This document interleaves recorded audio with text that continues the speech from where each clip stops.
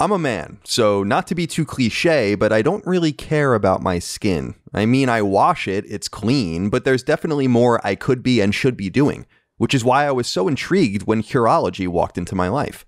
Curology makes skincare effortless, even for those of us not putting a whole lot of effort into the ordeal to begin with. And if you go to Curology.com slash sacred, you can get a 30-day free trial of their products, so you can see what Curology can do for you. All you have to do is cover a small shipping and handling fee of five bucks. So if you're ready for healthier skin and a routine that makes sense, go to Curology.com slash sacred to get started. Get your 30-day free trial of Curology skincare products by going to Curology.com slash sacred. You just cover shipping and handling. That's Curology.com slash sacred. Sacred Symbols, a PlayStation podcast, is brought to you by, well, you. If you want to learn how to support our show, go to patreon.com slash laststandmedia.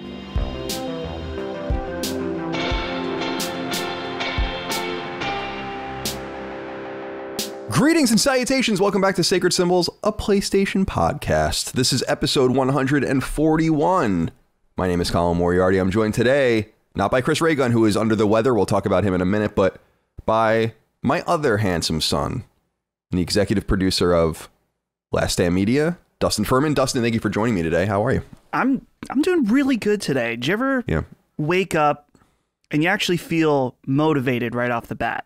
That's usually I gotta like, you know, like ramp up into productivity, but like I got up, cleaned the house, I uh, got a bunch of stuff ready for uh, today for the different content. So it's been a productive day. It feels good.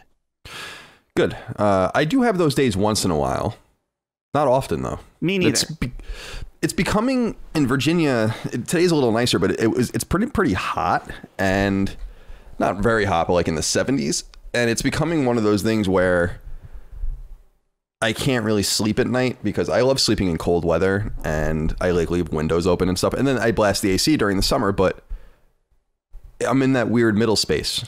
And so I'm not getting my rest. And so Mm. I lack that motivation that you're currently uh, Mine will be gone by, soon. grasped for sure. by, controlled by. But nonetheless, thank you for joining me. Now, Chris isn't here today. Chris rarely misses episodes, but uh, he's just not feeling very well. He asked if we can record a little later today and give him a little more time to rest up, but out of respect for Dustin's and Ben's schedule, I actually declined because this week's been pretty crazy with just recording things out of order, and I don't want to put more work on the boys' plates. So, anyway, Chris will be back next week, and I don't know. This episode is interesting because there's there's some pretty big news, but I don't know that Chris could have otherwise really missed a better episode because I feel like there's not that much apart from the one item that we really need to talk about. So, but uh Dustin, how is life? Talk to me a little bit about what's going on in your world. Hmm. Let's see what's going on. I don't know. I feel like I'm in a weird in between space where, I mean, I hate to be. Everyone's talking about the pandemic all the time, but it's especially weird now because it's like one foot in normal and one foot in not.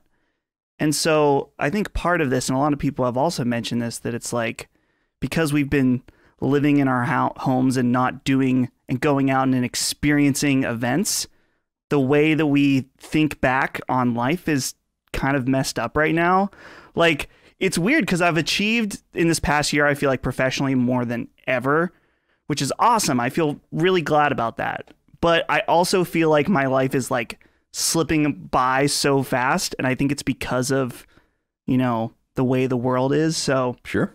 it's it's a weird duality, but I think, you know, I think we're we're coming out the other end pretty good at this point. We definitely are coming coming out of it now, which is cool. And I was just talking about that with someone yesterday that I feel like this this specific time in history, this last year, will be an historic time in history, not for obvious reasons, but it's going to be one of those things where people in the future are going to ask people like you or me, like you lived through the pandemic. What was the Right. pandemic like? It's very similar to the depression, I would assume. People always connect it to like, you know, the Spanish flu of the late 19 teens, but and that makes sense. But in terms of like this shared experience, actually Joe Biden talked about it in his speech last night from when we were recording this. He was talking about like how we have this shared experience together. And it's true. Like our everyone alive right now has this really it's rare, although unfortunate because it's so catastrophic, but it's rare that everyone in the world is dealing with literally the same thing. You can't escape unless you're living like in Siberia or something weird like Or that, and like you're never maybe. gonna. Where? What? In Texas, maybe. Now. in Texas, yeah, too.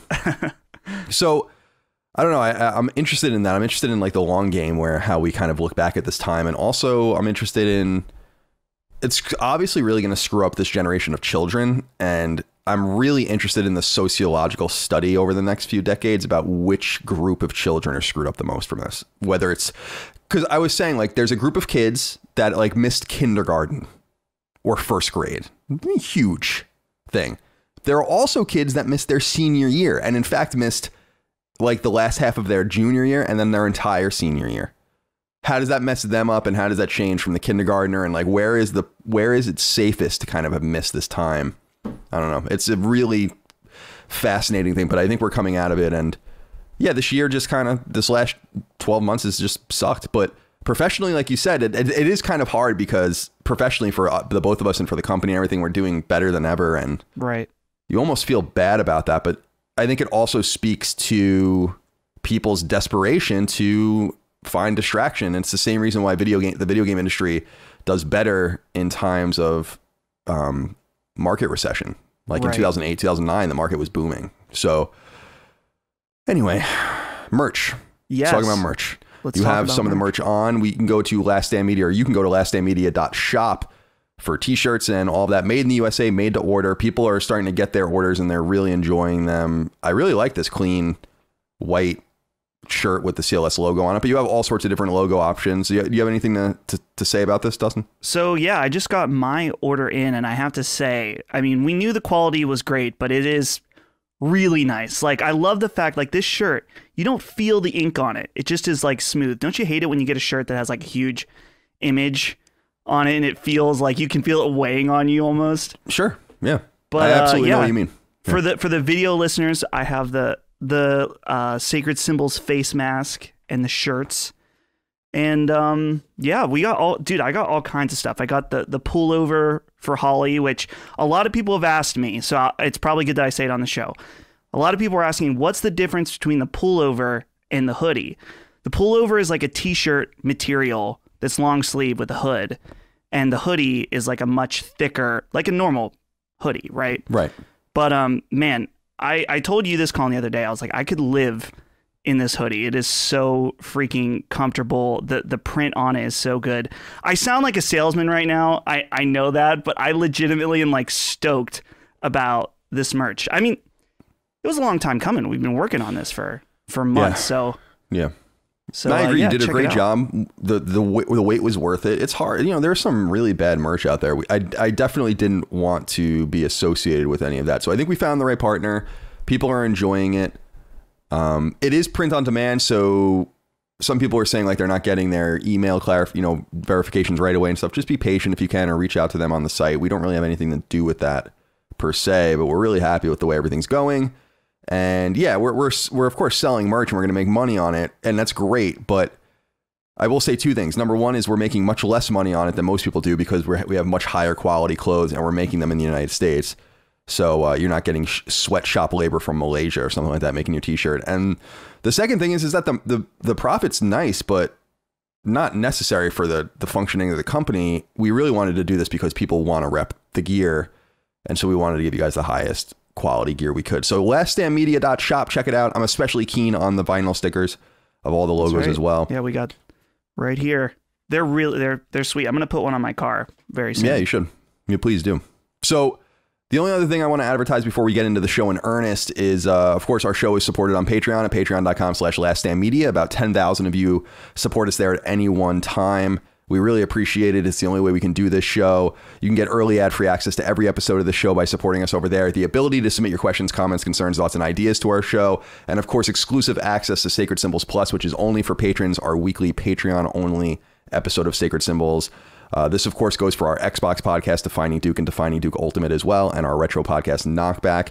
Last week's episode of Sacred Symbols Plus was a rare, uh, an exceedingly rare solo Colin episode. People really enjoyed that. I just did a Q&A for about an hour and a half. Next week, And we'll talk about this news here on the show, of course. I'm going to get Maddie, Mr. Maddie Plays, onto the show, who, of course, does Defining Duke, our Xbox podcast. We're going to talk for the first time on this show, uh, which will be really fun. And we're going to talk all about the Bethesda deal, specifically about how it affects Sony from a far deeper, granular angle, which we won't get on the show, get to on this show, but we will get into on that show, nonetheless. All right. Corey Brown wrote into us. Said, Hey guys, Colin, I just wanted to let you know that Habroxia 2 on PS4 was platinum number 148 for me. The Vita version was in line to be 149, but considering you were one of the main catalysts for my trophy, trophy obsession, I decided it deserved the milestone 150 slot. So I queued up the last campfire, cranked through that platinum, then went back to the destroy the final boss Odin for 150. The kicker, the trophy popped on 311 day.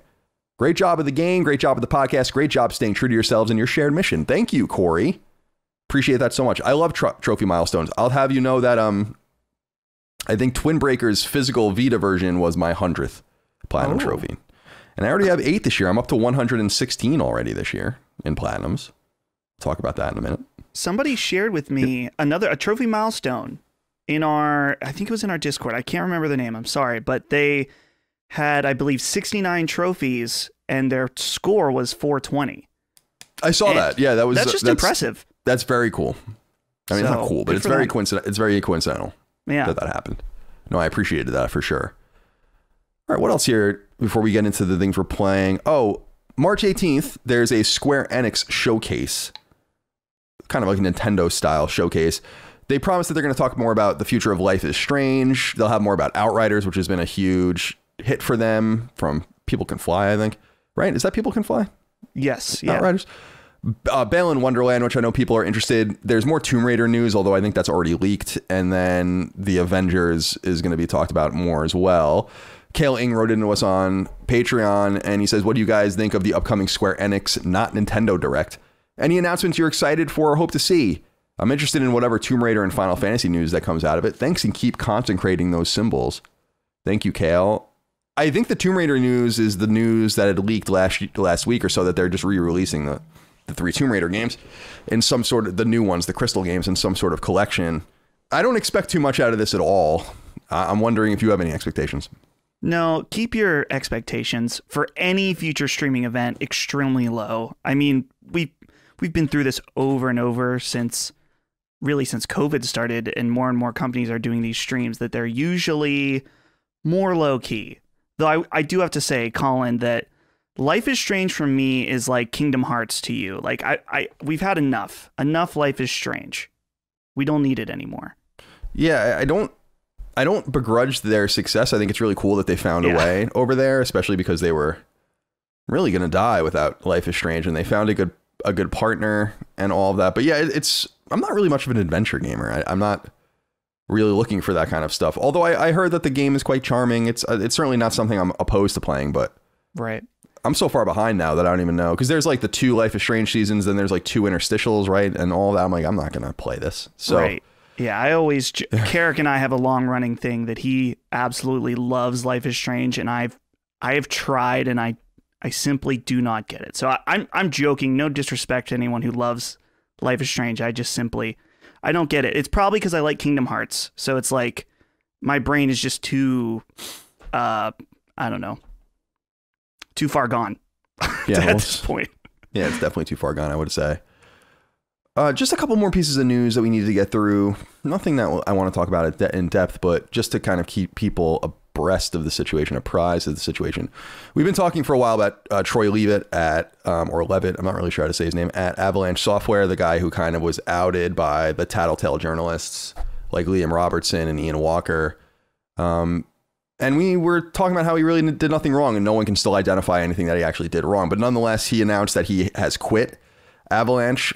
I'm skeptical about all of this. I've reached out to him and have talked to him a little bit behind the scenes, but nothing worth sharing, nothing that I can share. And also, he wants to kind of, I think, tell his own story on his own YouTube channel. But I keep wanting to have him on the show when the time comes to talk about his experience. My theory about this is he quit because it was I'm not so sure that like they asked him to quit. I don't know that that's the case. Maybe we'll find out that that is the case, but I think he might have done the right thing because realizing that the game is now going to be unfairly marked with these questions when they just want to promote it. So like when they go to a new if there's like a new event or something or they show new parts of the game, the the questions are going to be about Troy and not the game. And so getting rid of him in some way or losing him from the team is an unfortunate reality that probably strengthens their team and makes them more focused. But I was really sorry to hear that. Do you have any feelings about about him leaving?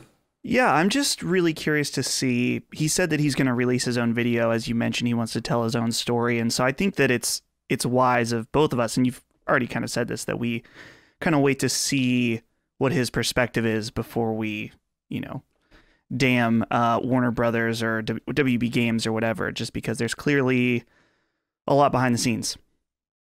Yeah, I I think so too. I I wouldn't be surprised if it was some sort of mutual thing, nice payout, NDAs signed, no immediate security worries. Maybe he gets a year pay or something like that. But I was sad to see it because I, I thought for a moment that we were going to serve, we as like a people that like normal uh, conduct in business would would have been like, oh, WB is not going to bust balls about this and they're just going to keep going. But that ended up not happening. And so I felt like I needed to share that so people can have an update. But hopefully we can get him on the show one day and and talk further about that because I'm really intrigued by his story.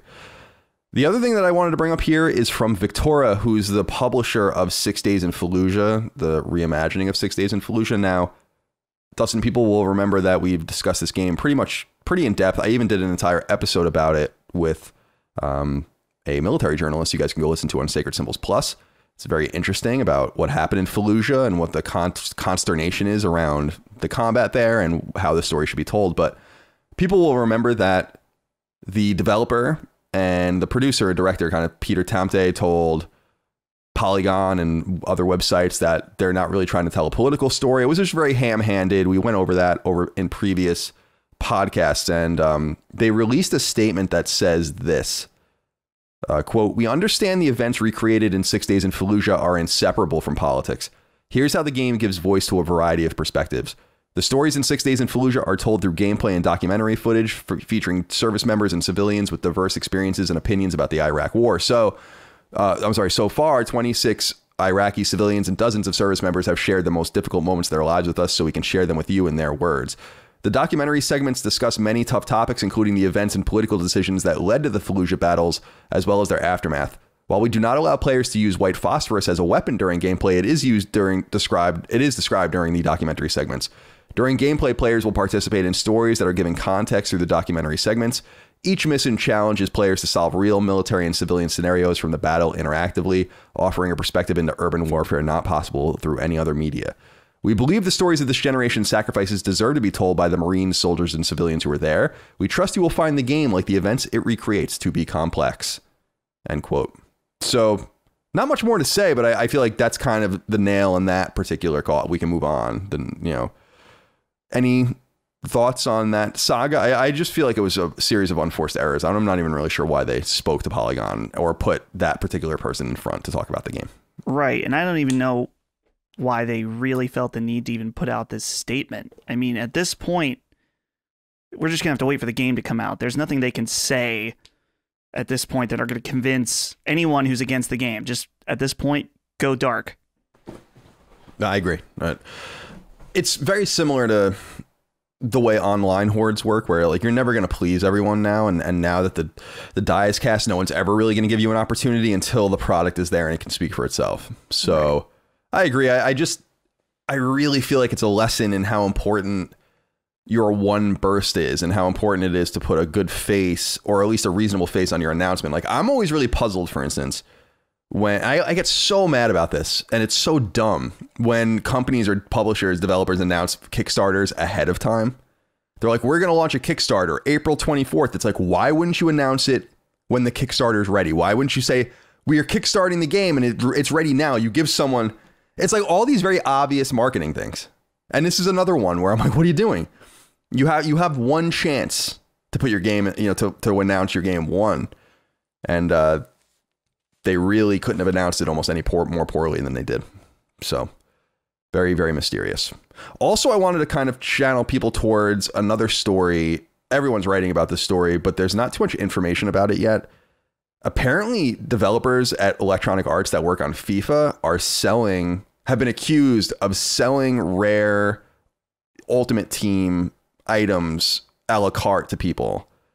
And there's like a big controversy about who's doing it, who they are, and all the rest. So it's a really shady thing, especially because people spend so much money. I mean, that's where these sports games make their money is by buying packs of cards. So it seems like some shady FIFA developers have circumvented it and are like basically getting these items out there. Did you read anything about this? Yeah, I saw something about that. I I mean, it's not surprising to me if there's people that have access to the back end that can give themselves rare items, then I don't know, it seems I don't know, we live in a new era now where there's digital items of sometimes extreme value. And so, you know, it's it's now where developers and different people on the back end are dealing with items of, you know, like I said, really high value. So it's kind of a, a different dynamic now. So I'm not surprised it's happened. The question is, is it true, first of all? Because it seems to be kind of up in up in the air. But I wonder what uh what EA's investigation will find. Yeah, to EA's credit, well, maybe it's not to EA's credit. The FIFA audience hates EA. Uh, I, have come to learn that over the last few years. Like FIFA players, they buy the game and stuff, but they hate EA. So they do have like a, a super acrimonious relationship with each other, the two sides. And so you are innocent until proven guilty. But it seems like the proof's kind of in the pudding. It's just a matter of if the proof being shown is actually true because there are screenshots of conversations and all of that. But people can go read about it. And when EA issues their findings, then we will talk about it in the, in the news in a more succinct way. But I wanted to put it on everyone's radar for now. Michael wrote into us and says, Is it wrong that my regular Five Guys order is just a plain hamburger? Just bun and one patty. My friends make fun of me for this. Am I mentally disturbed? Hmm. That's something. Though I can't really knock him because I'm a pretty, you know, minimalist when it comes to to burgers. I'm like meat, cheese, bacon, maybe barbecue sauce. All right, so that's not very minimal. I mean, that's not. It's minimal just... though. A lot of people get like you know lettuce, tomato, onions, all yeah. kinds of stuff. I don't. Tomato's I don't want weird. any of that. Lettuce and tomato is weird. I'm not. I don't even really feel like it adds any. Like, what is it really adding? You know, it's weird. Yeah. You know, what does a tomato and a slice of tomato and lettuce add to your burger? It seems like a waste.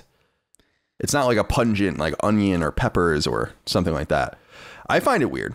I mean, this is people might remember that have followed me for a long time. I have no idea what happened to him, but a guy that I worked with at IGN named Jim Riley, he used to do the news there. Really weird dude and nice guy, but we were friends, but very weird guy. And and his thing was we used to go get burgers all the time, but he would order just hamburger, like like a burger on a bun. And I'm like, isn't don't we can't we all agree that while the beef is good and, and the bread is fantastic, that it's also a conduit by which we eat the ketchup the conduit by which we eat the onions, the cheese. Just the beef is a little that's a little weird. I mean, it's like what do you I don't know about that. I mean, you have every right to do it. Also, you're saying that your Five Guys order is just a plain hamburger, just one bun and one patty. Well, that must be the little hamburger then. Right. Because if you just order a hamburger at Five Guys, they're going to give you two patties. So now you're even you're even in you're in the little little hamburger territory. It's not not a good place to be. Right. I just don't know if the beef is flavorful enough to carry on its own, right? Like I don't know though because I've I've done when I've been on like keto and other types of of uh, diets like that where you just eat like a burger or whatever. But it's stuff that I would make at home, so I'd like make it nice and seasoned with different stuff. So, but I just don't know if Five Guys would be putting in that kind of that kind of effort in just the beef, you know? No, you got to go with everything else because Five Guys has all the accoutrements, more accoutrements than anyone. You gotta, you gotta go in. I mean, you can get A1 sauce on your fucking burger at, at Five Guys. You gotta go in and figure it out. So no, I think you're weird. I think you're mentally disturbed. I don't think you deserve Five Guys, Michael. And I think you really need to think about why don't you just go to McDonald's? Why don't you just get a plain hamburger out of one of those white wrappers? Hmm. You know? You'd save a lot of money doing that. That's what I was thinking. Is like, why yeah. are you going to Five Guys if you're just getting, you know, plain Jane? That's another good point because they charge you the same amount no matter what you put on it. So that's a great point. That's a great point. Caleb Harrison wrote into us and said, Hey guys, we're going to try our hand at vegetable gardening this year, but we can't decide what we should grow. What vegetables do you think we should prioritize? We live on the parad- paradisical utopian island known as Oklahoma. In case you need to consult your farmer's Alm- almanac. Thanks and be well. Oklahoma, I mean, you got to grow corn and wheat. I don't want to hear any more about vegetables. That's not what you guys do there. You don't want to, we don't need to reinvent the wheel. We have California, we have Florida and Texas for fruit and all the other weird things. You grow corn and you grow wheat. And I don't want to hear another word about it. I don't want to hear another word about it. What do they what do they call you in your in your state? Corn huskers? Correct? They don't call you bell pepper growers. They don't call you potato diggers. They call you corn huskers. So I think the answer is corn Wow. and some wheat. Dustin, do you have any thoughts? I, I don't know if there's anything that, that can be said after that. I mean, I hate gardening, so I'd say don't garden at all. Oh, he's from Oklahoma, not Nebraska. So they're not corn huskers there. Nonetheless, nonetheless, Everything null and void now. yeah, null and void. Just forget everything I said. All those states also, I mean, let's be honest. I've been to in many of those places. I- There's a few places I haven't been in the United States, but Montana and Utah and Colorado outside of Denver, these are these states kind of blur together. By the time you get into Oklahoma and Nebraska and the Dakotas, it's like, come on, guys.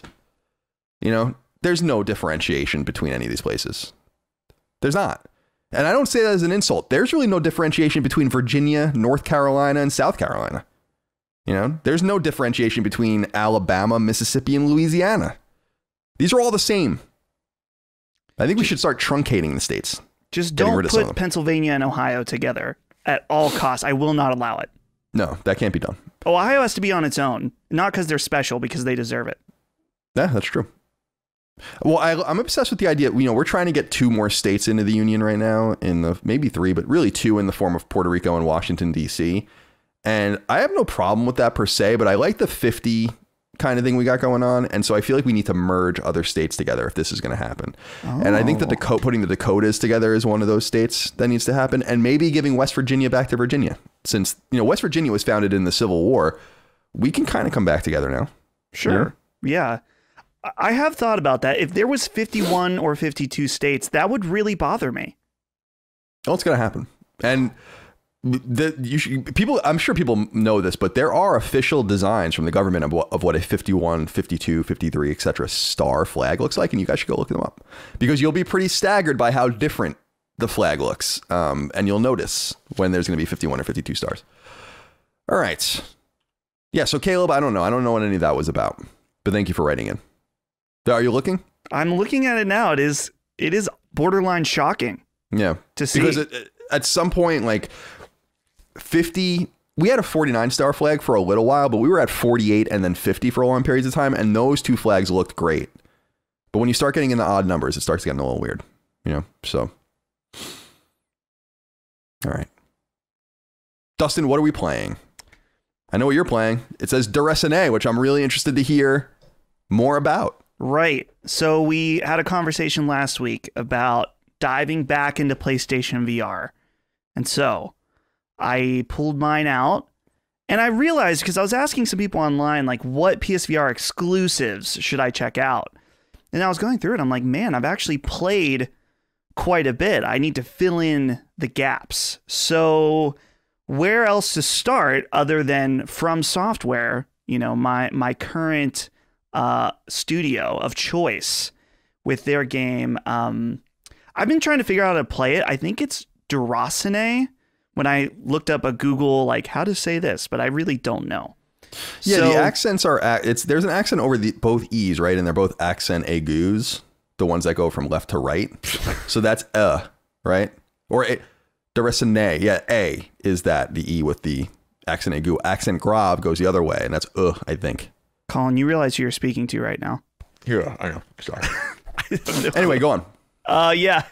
So yeah, Dur- Dur- Durasane, Durasane. It's FromSoftware's only VR game. It's twenty dollars, and it's very interesting for them as a studio, just because they're known for Dark Souls, Bloodborne, which all have these hideous beasts, the undead, all kinds of um, eldritch beings, literally in some some cases. So This one is quite different in that you are a fairy that is inhabiting this school, or it's an orphanage, I believe.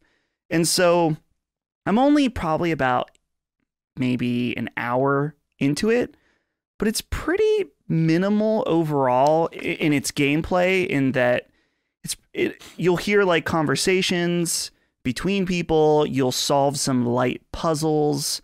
You're not doing anything crazy.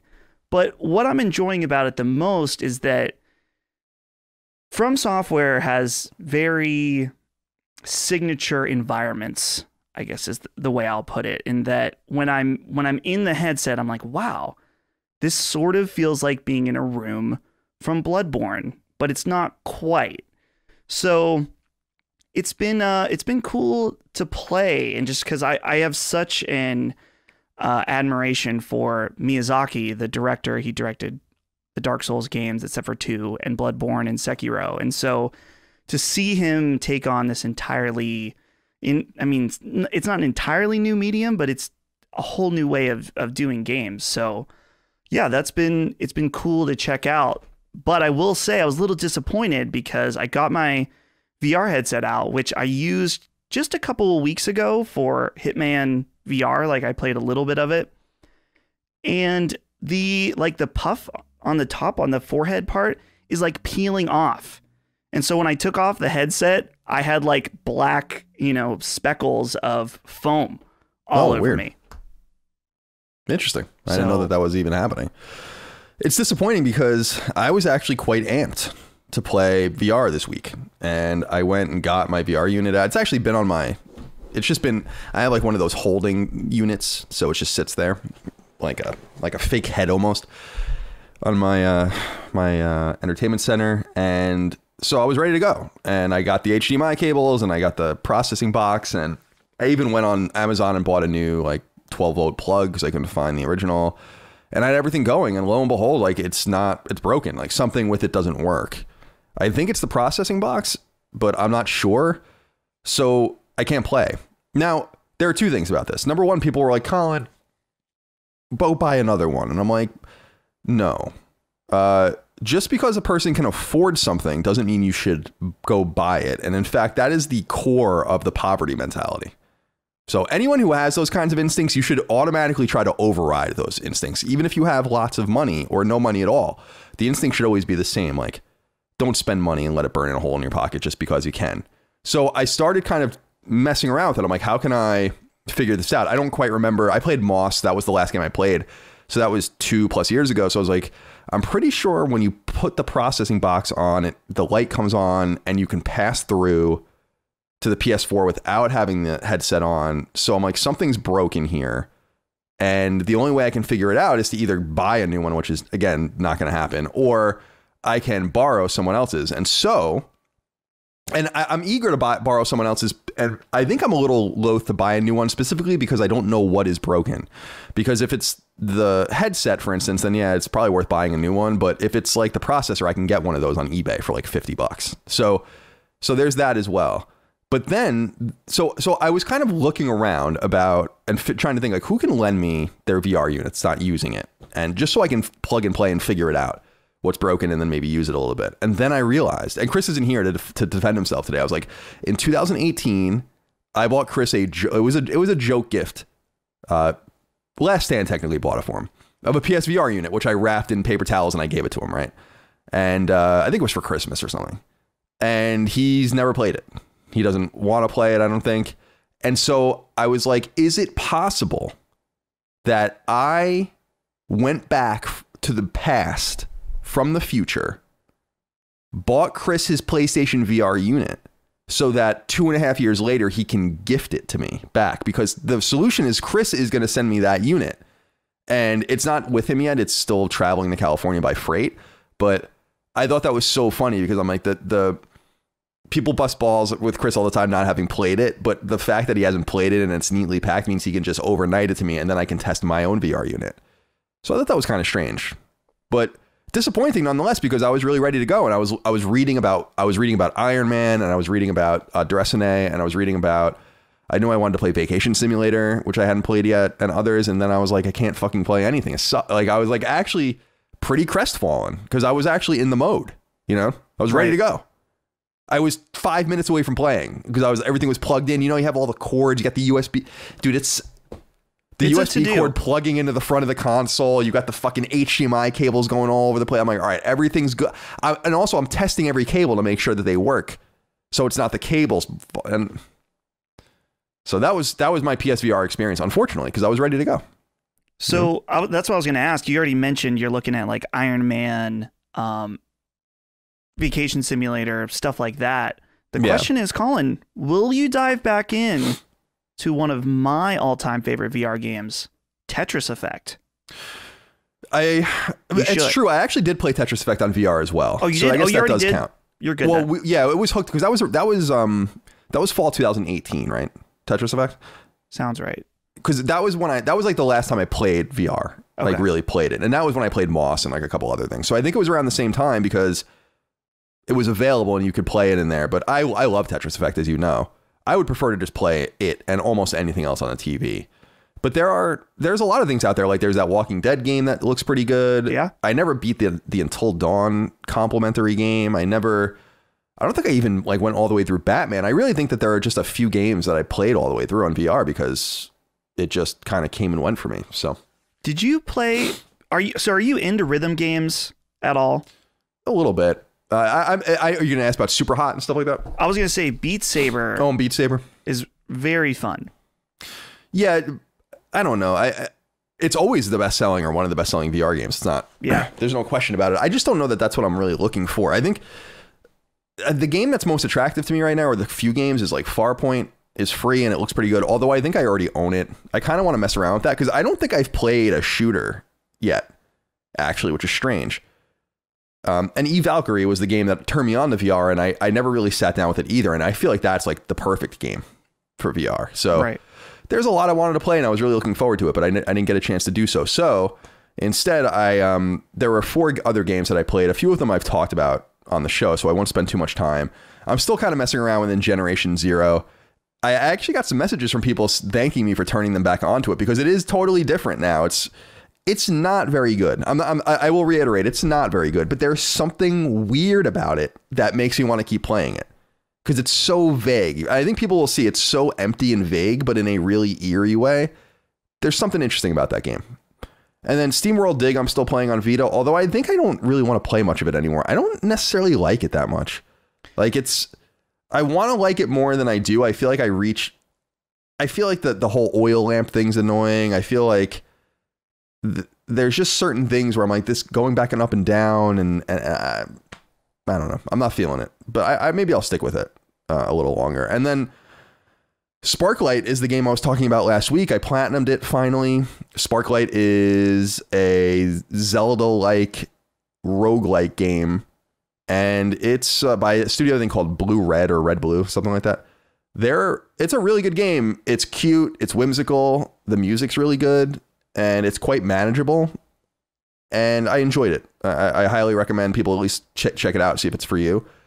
And then you know what I started playing is Ratchet and Clank. Oh, 2016 Ratchet and Clank. Now I played it when it Going came out and. I beat it, but I I remember at the time that I played it and just played it, which is rare for me. Where I'm like I'm just gonna play the game so I can play it, and that's like what I did with Uncharted 4 and other things. Like I had like a weird year.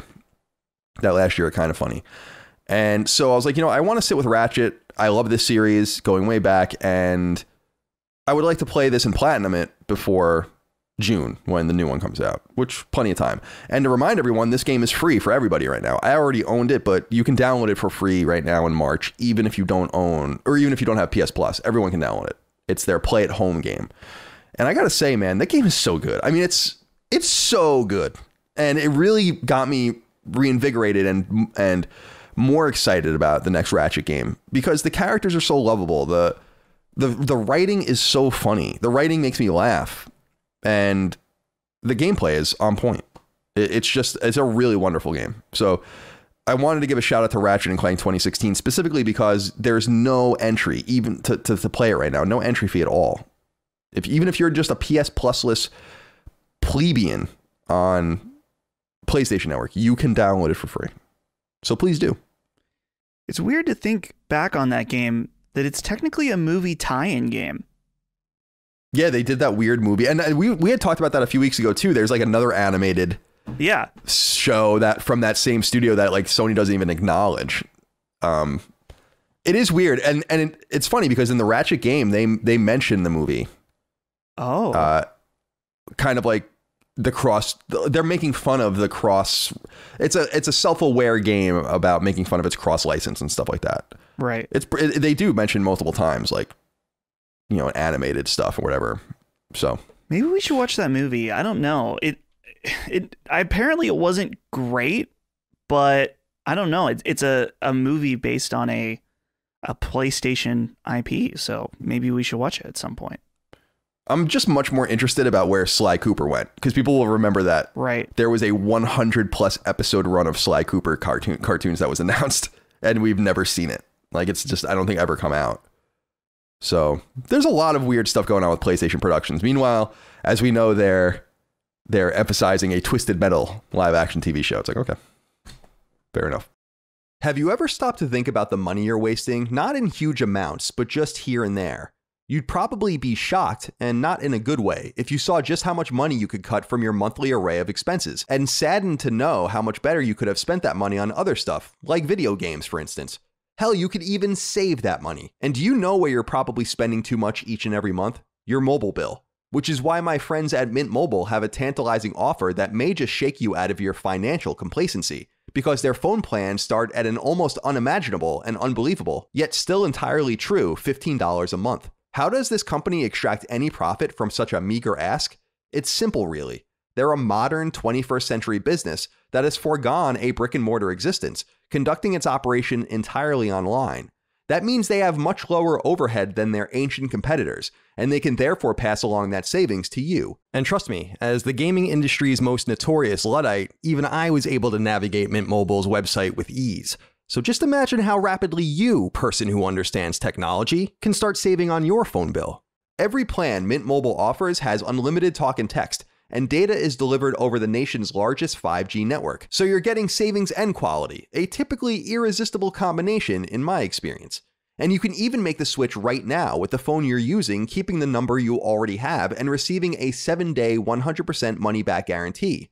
So if you're not happy, you can switch back to the old decrepit service you currently use. To get your new wireless plan for just 15 bucks a month, plus get everything you need to make the switch shipped directly to your door free of charge, head to mintmobile.com slash sacred. That's M-I-N-T-M-O-B-I-L-E dot com slash S-A-C-R-E-D and begin saving right this moment.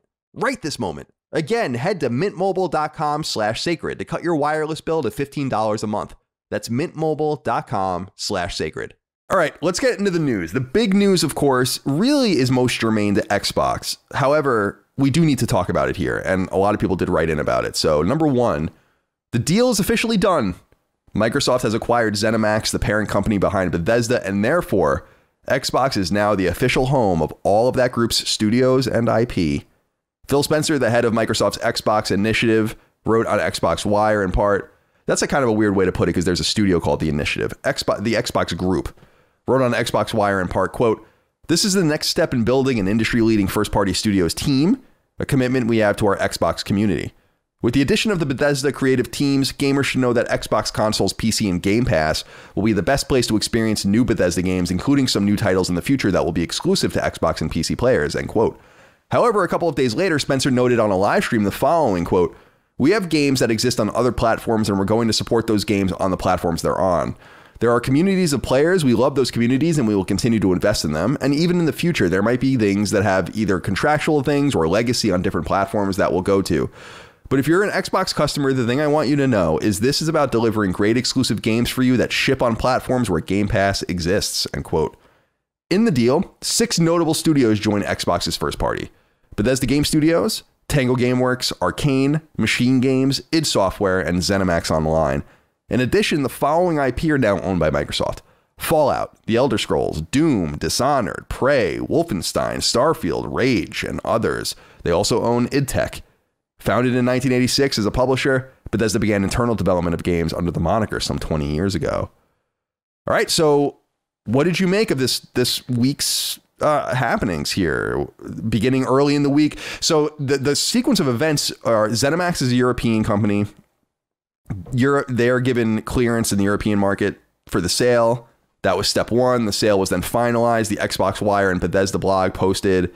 Two days later, they then had um, their roundtable video. So there's three different pieces that give us where we are today. What what do, what do you make of everything taken together?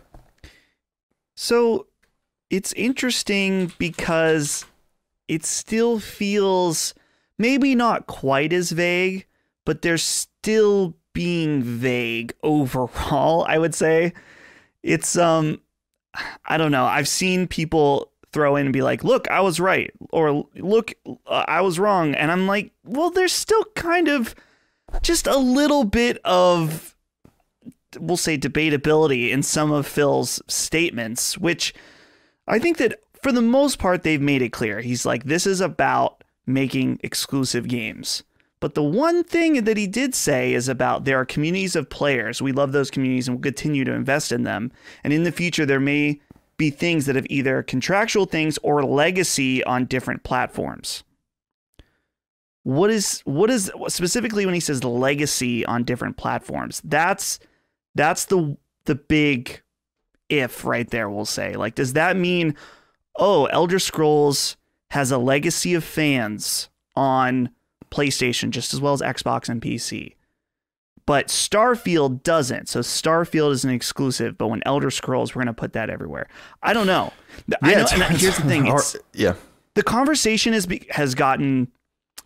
I'm just going to say a little annoying to me at this point because I know there are people listening that already want they want to like break their speaker because the fact that I would even suggest the fact that some of these games would come to PlayStation. And there's other people that are like cheering me on in the fact that I'm suggesting that they could come to PlayStation. I'm leaning into the fact that we there's still some vagueness. Does that make sense? No, I think that I think you're right. I- should clarify. ZeniMax is an American company, so they had to go through EU Commission stuff separately. Um, so that didn't make any sense when I said that. The I agree with you. Here's the thing.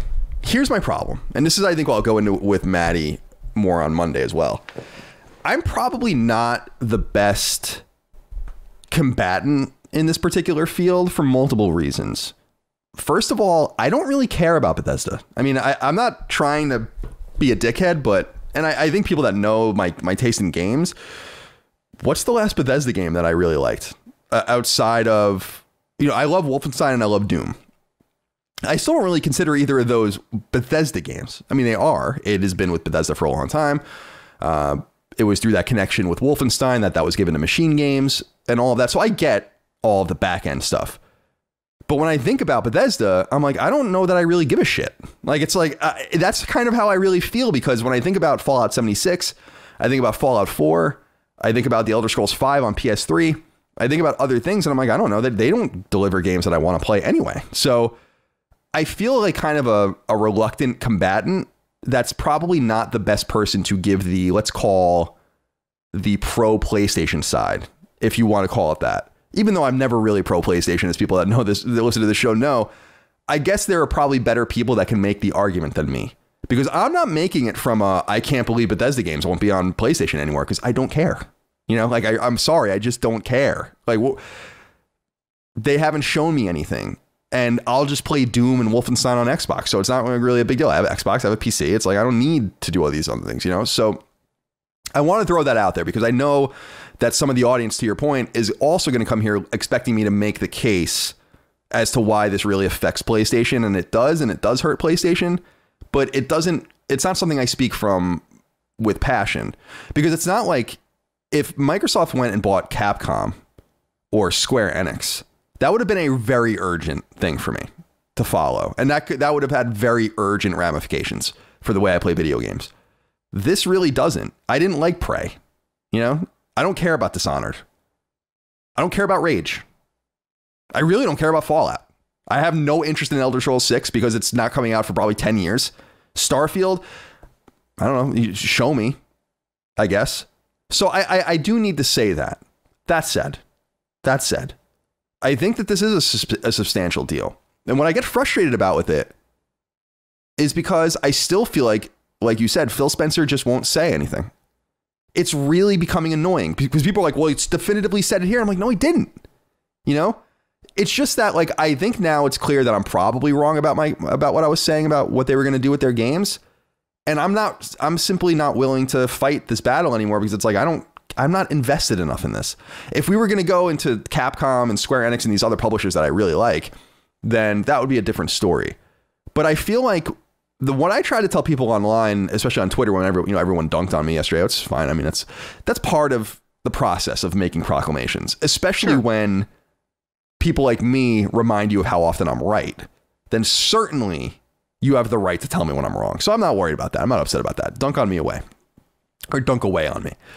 But I just feel like why can't they speak more candidly? And I still feel like they're not. And I I I think I connect all the dots from the way Phil Spencer has always been. And people are don't you don't doesn't anyone remember when Square Enix and Tomb Raider were Xbox exclusives and they were in quotes and they like kept calling them exclusives and they weren't and everyone knew they weren't but they kept calling them exclusives anyway and pretending that these games weren't coming to PlayStation. I can't help but escape that.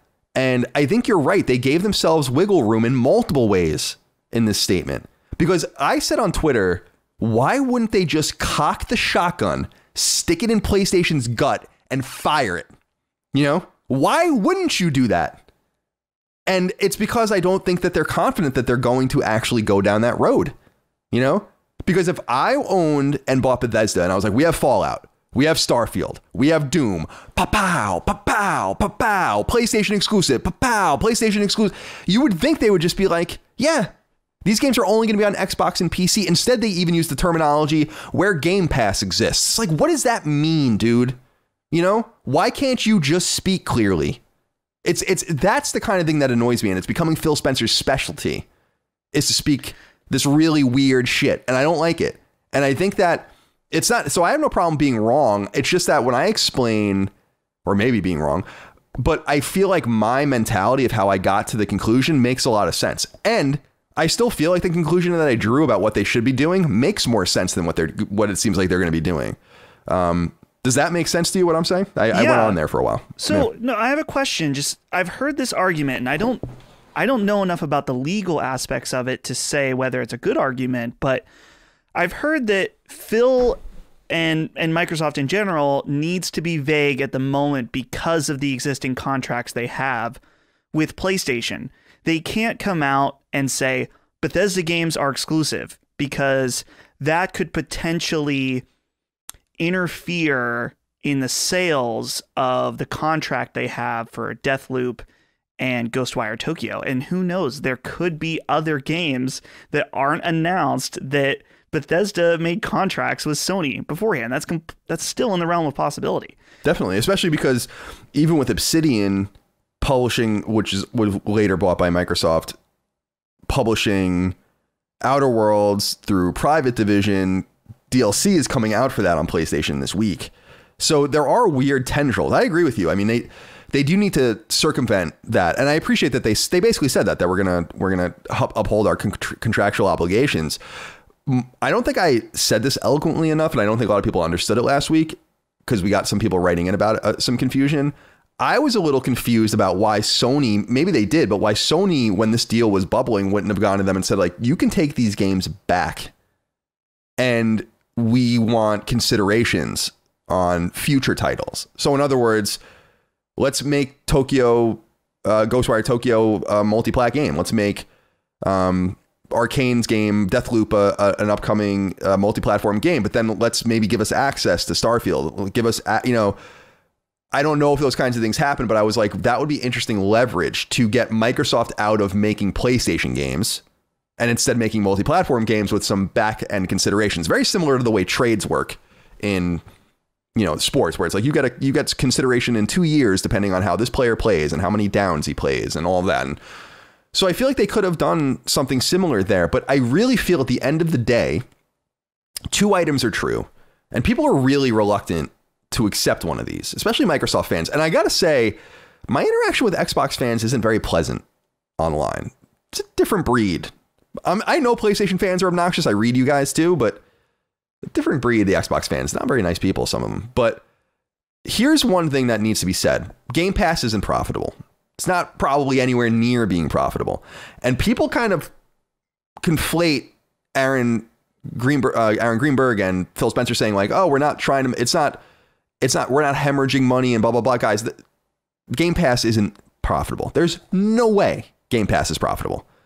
Uh, streaming platforms are notoriously money eating long term investments. Netflix was losing billions of dollars a quarter on their streaming service. Disney Plus, who owns all of the shit that they're they're on there, are still losing hundreds of millions of dollars a quarter on Disney Plus. So of course they're losing money on on Game Pass. And so my thought was, Dustin, and I thought it was pretty logical. To attract more people to Game Pass, you must go poaching in a more active way. You must go get PlayStation gamers. And I still say the best way to get them is to make your games available to them and charge them $70 for them. Or just go get an Xbox with a Game Pass subscription and play anything you want. And if you do that over and over and over again, I think some people are going to be like, we don't need, we, we get the, we get the point. You know, we're going to pay $70 for Doom. We're going to pay $70 for the Elder Scrolls, $70 for Starfield, $70 for uh, Wolfenstein 3, $70 for Prey 2, whatever the case might be, or $15 a month. You get it all. And that still makes the most sense. And I still think that that is what Microsoft wants. And I think that's why they said where Game Pass is available. I think if Microsoft had their way, it would be available on PlayStation and it would be available on Switch. I think you'll see Game Pass on Switch first. Do you, does that make sense to you though? Not only Yeah. where my mind was in order for that, because to me, I was like, you can't just sit back passively if you make an investment like this. You need to go hunting. People, you need to show them not only the high caliber of your game, but how much cheaper it can be on the other platform. And to me, I was like, the most aggressive way you can do that is to simply go sell those games. Um, so that's number one. But then also, th- just the idea um, of back end deals that could keep these games flowing to PlayStation. But again, I'm just not the best messenger for this because I'm not really that crestfallen about it at all. You know, it's like out of all of the big publishers that make game, independent publishers, so your Ubisofts, your Bethesdas, your Capcoms, your Square Enixes, your Activisions, whatever, the the one I care about the least is Bethesda. So while it's huge for Microsoft, and I want to kind of save more of that commentary for later, I don't know that we lose. I, I don't know that I, as a gamer, lose too much from this deal. PlayStation gamers definitely do. Anyway, what? So, how do you think we lose as a PlayStation audience from this? In ways obvious and not obvious. So, something that I've been thinking about this, because I was thinking about the nature of exclusives and how those affect the consumers. And I just, I've come to the conclusion that I'm never going to cheer for making, for a game that once was multiplat to be removed. And so it's only exclusive to, to certain people. And both, both companies are guilty of this. And I'm not saying it's an an unfortunate reality of of this business and how, you know, consoles get sold, right? Like PlayStation probably spent a shit ton of money to get Final Fantasy 16 and before that even Final Fantasy 7 remake exclusively on PlayStation. And yeah, I think that that kind of sucks for the Xbox gamers that played either Final Fantasy 13 or Final Fantasy 15 on Xbox. And maybe they now have a history with that franchise. And now they're not able to play that. That was plucked away from them. And that's what's happening also with Bethesda, in that, as I mentioned earlier, there are uh, communities of people who play Bethesda games on PlayStation. There are thousands, thou- thousands upon thousands of Elder Scrolls and Fallout fans on PlayStation that now, if they want to continue to engage with that franchise, they must purchase another platform. And so, like I said, it's an unfortunate reality of how this business works, but I get a a weird gross feeling when I see people cheering for this because they want their side to win. This comes back to the the fanboy conversation that we had last week. Like in the end, sure, maybe this deal with Xbox and Bethesda will lead to a more successful Bethesda. That's everyone's hope. I would I would hope that that would be everyone's hope is that they can now make games that they weren't able to before. But at the same time, you know, it's it's not something to celebrate at the same time. And I say that as you know, someone also that saw other independent developers get purchased up by by Sony. It's like we've been saying the consolidation of the industry is something that I'm not so sure is a good thing. Yeah, I'm I'm concerned about it too. I'm more concerned about Saudi and Chinese money in the industry than I am about the consolidation of Western entities. So ZeniMax and Microsoft getting together doesn't bother me. I, I should also note, and I should have said this earlier, I'm a Microsoft shareholder. So financially, this is great for me. You know, like I'm, I'm totally happy about that. But I agree with you. Like it's, it's weird to see the reconsolidation of an industry that was trying to kind of get rid of those shackles for a long time and go independent. I think people realize that it's hard to sustain yourself without publishers just because it requires you to take all the financial risk and it's not something people are willing to do. So they give away control and they give away their IP in order to have security and people helping them. And I respect that, but the consolidation does inherently mean very similar to what we're seeing in streaming platforms with Netflix, Amazon, Hulu, and everyone else. There's going to be a bunch of verticals where things are going to be sealed off and siloed off. Like I refuse to get Paramount Plus, right? Yeah. But that was the only way you can legally watch the um the Oprah interview with Meghan Markle, right? And I'm like, fucking Christ, like I'm not getting Paramount Plus, you know, and as long as things don't go down that road, I think we're okay. I, have expressed that fear in the past about how I'm afraid that like Square Enix or Capcom or these others are gonna make their own streaming services just like or their own Ubisoft. You know, Ubisoft already has theirs going and others. That I get a little bit more afraid of. I hope we have a more old school Hulu type approach where companies get together and make their own, which is what Hulu originally was. It's not that way anymore. So I'm a, I am concerned about the consolidation. This consolidation doesn't bother me as much as others. Like SNK being purchased up by the Saudi crown prince sucks, and Chinese Tencent money getting embedded into all sorts of developers sucks. This doesn't really suck from that perspective. I think that they overpaid for this. I think that when you compare Insomniac for $229 million to $7.5 billion for studios, a couple of which are as good, maybe. Um, I think more you're paying for the IP. I also think you can't understate, as I said earlier, Dustin, that it's uh, id Tech. I was actually really compelled yeah. by that. They can Microsoft can now license id Tech, and and id and Bethesda have not really licensed id Tech to anyone in recent years. It's shit, man. The old id Tech licenses are how a bunch of developers came to be, uh, like Raven and others getting involved in the '90s. So there's exciting things that Microsoft can do there too. But I love what you said about the lineage thing, um, because Daniel Nichols wrote in about this and said. I'm going to keep it simple. How should we construe Phil Spencer's recent comments about Bethesda's exclusivity? He did say some titles with legacy on other platforms will remain there. Which titles do you think they are? You had asked this too, and I don't really know because when even when you honestly think about Bethesda, they have an Xbox slanted heritage going back to the original Xbox. It wasn't until Elder Scrolls 4 that we ever got an Elder Scrolls game on PlayStation. It was Elder Morrowind was on Xbox, as people might remember, Elder Scrolls 3, and before that those were PC games. Same thing with Fallout. Fallout 3 came out day and date to PS3, but people will remember that there was a six month DLC exclusive window with those five DLC packs on Fallout 3 that went to Microsoft. Um, Doom had Microsoft related stuff and others. So when I think about the games, I'm like, I don't think there, I don't know that there's too much to think about here. Elder Scrolls doesn't have a PlayStation heritage. And I don't think Doom has a PlayStation heritage. And I don't think even Wolfenstein has a PlayStation heritage. I think what they're talking about, honestly and unfortunately, is Minecraft and Elder Scrolls Online in that regard. I don't know that I don't know that they're going to go like Dishonored had a PlayStation heritage. It's like, well, it was on PlayStation. I don't know that you know Prey was on PlayStation, but I don't know. So I don't know. That comment is interesting. It's an interesting hanging participle, as it were, dangling participle. But I don't.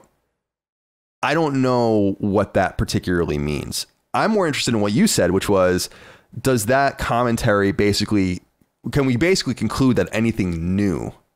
Right. So like Starfield. I feel like you can wipe that out out of PlayStation. Like, I don't think that's going to happen. But does it mean the Elder Scrolls 6 is going to come to PlayStation? I don't know. It's a tough it's a tough situation. I, I don't know. But people also want to talk, Dustin, about what this means for Sony. Jehudi wrote into us and said, Hi guys, hope you are well. Where is Sony's response to all the progress Microsoft has made recently? It seems as though everyone is making studio acquisitions in the industry, but with Japan studios seeming decline, it seems Sony is doing the opposite. I'm all for nurturing teams, but it feels like PlayStation is being left behind by moves made by Sony. We need more games and we need them soon. What do you think PlayStation needs to do to reassert dominance? Keep up the good work and much love to you all. Do you think Sony's losing a dominant position because of moves like this? Not right now. I mean, I don't want to sound like a hater, but really, what is the compelling piece of software outside of Halo Infinite on Xbox this year? I feel like they've really kind of messed up this launch. Right, uh, we're going to talk about it later, but Worse PlayStation than Sony. 5 is the fastest selling console of all time. yeah. You know what I mean? And we've got Horizon, God of War, um, all within the first two years. So to me, it's like they're they're still on the fighting. You know, what no, what's, what's the way I'm looking to say this? They're they're still the leader because they are still hopefully we'll, have yet to see. Maybe these games will be trash. It doesn't seem like it though based on the precedent of these studios and the entire last generation that these games are going to be blockbuster titles that there's certain games that like the industry everyone comes together and plays this game at the same time. Everyone is going to be you know chomping at the bit to play horizon and the next god of war. I just don't know if xbox has that kind of cachet. I mean, Halo Infinite, sure, but there's there's been a lot of um, mixed feelings about that game. So that's kind of a wild card right now. So if I were Sony, this is not the time to make rash moves because Xbox made a big purchase. I think that they continue to double down on making exclusive first party, right? Um, and I, I don't want it to sound I don't want to sound hypocritical about this first party because I was saying how removing people from playing games sucks when and what I specifically meant was removing a third party game and taking it away. Yeah, something that was oh, at one time available. Right. Yeah. I want I just want that to be crystal clear for everybody. So Sony doubling down on this, you know, industry stopping games and that sell, you know, millions of units. That's where I think they continue to be the market leader. It's I'm I'm torn on this one because I think the the major challenge with Microsoft clearly is going to be managing these studios. They basically have doubled their their growth in the last two and a half years or three years since they bought those that slate of studios like Obsidian and Ninja Theory, and they haven't really come out with anything from those studios yet. Now they have of any consequence. Now they have a whole new slate of studios. And it's about managing this team of like 25, which is twice as big as Sony's. And I think I said it several times in previous episodes, Dustin, which is if Microsoft can get this organized, they can and should have a massive AAA release every quarter Right. forever. But it's a matter of getting there and managing those assets. And to your point, they've completely mismanaged their assets. And this is part of the reason why I think maybe Phil Spencer and Aaron Greenberg and these guys get a little too much credit is because, yeah, you went and bought these studios. It's cer- certainly a couple of the studios they bought last time I would have loved to see with PlayStation, like Obsidian and others. But they don't seem to manage these studios extremely well. And I think the more you add bloat, the more you're requiring production, the more you're requiring an architecture around the studios that works within the micro, Microsoft Studio platform. The bigger you get, the harder that gets. And I think that's why Sony started shutting down some of their studios about 10 years ago because it was becoming too unwieldy. And so they are taking a different tact. But I must admit, as a PlayStation fan, I want to know what they're going to buy. I, I also want to know, I think it goes two ways. There are some studios that are available that they should look at. And there are some publishers that they can buy if they wanted to that could be a very equivalent move for them. if Sony went and bought Capcom, for instance, which they could afford, or if they bought Square Enix, which they could also afford, it would just be loan money for a long period of time, then that's pretty counteractive. But I think Sony realizes you don't need to buy the cow to get the milk. And That's right. that they can extract second party games from studios on a one off basis in which you totally limit your exposure to any downside apart from the game the ma- the making of the one game. Sometimes this works really well. I think Quantic Dream games really worked in this environment. Sometimes games work not very well. I think The Order 1886 was one of those games as well. But I'm eager to see what they buy next. I didn't expect them to buy Insomniac. And when I look around, I, I keep saying Bluepoint is the obvious team, but I understand why Sony fans are a little worried. It's like, well, where where are our studios? You know, and it's kind of it kind of sucks because the big boys have just went. So we're not going to see a Naughty Dog AAA single player game in a long time. We're we're not going to see another game from Sucker Punch in a long time or Bend or any of these guys. And so people are eager. What I would really love to know though, Dustin, and this is unknowable for us, is what are this inevitably they have biz dev people always looking at acquisitions. And it's like, what are the studios they want to buy? You know, they must have a list of small list of studios. Like if these were available, we would, or you know, should we try to get FromSoftware? Can we try to try to get someone else? So I, I don't know. I, I I understand both sides of the argument, but I do think, to your point, Sony's more deliberate approach with AAA games is undeniable. And someone had said something to me, which might be true, where, and I think Phil Spencer has said this, where like Game Pass allows people to buy more games. And I'm like, that's fine. Yet Xbox games never chart, you know? So where are you making your money? How are you making your money? How passively or actively are you making your money? So many unknown questions here. And um, it's really going to be fascinating to watch how this unlocks over time and what we might get as PlayStation gamers from that ecosystem apart from the obvious. Because I really don't think that, I don't think they're making the right choice in terms of growing Game Pass. It almost seems contradictory with what they've been doing for a long time. They seem to have wanted to be as ubiquitous as possible until right now. You know? And Right. that's fine. I mean, I always thought it was weird that they wanted to be ubiquitous, but I'm simply analyzing their moves based on that. And uh, I still say that Game Pass would be on PlayStation if Sony would allow it. So, What would that look like though? Like let's just play a hypothetical game. Because people have been talking about this, like they, the fact they said a platform platforms where there is Game Pass. Now, to be clear, I don't think that Sony would have to be on its last leg, I think, to allow Game Pass on PlayStation. But I was thinking about that. I'm like, what would that look like? Is there a reality where that could happen? yeah. I mean, I, I think.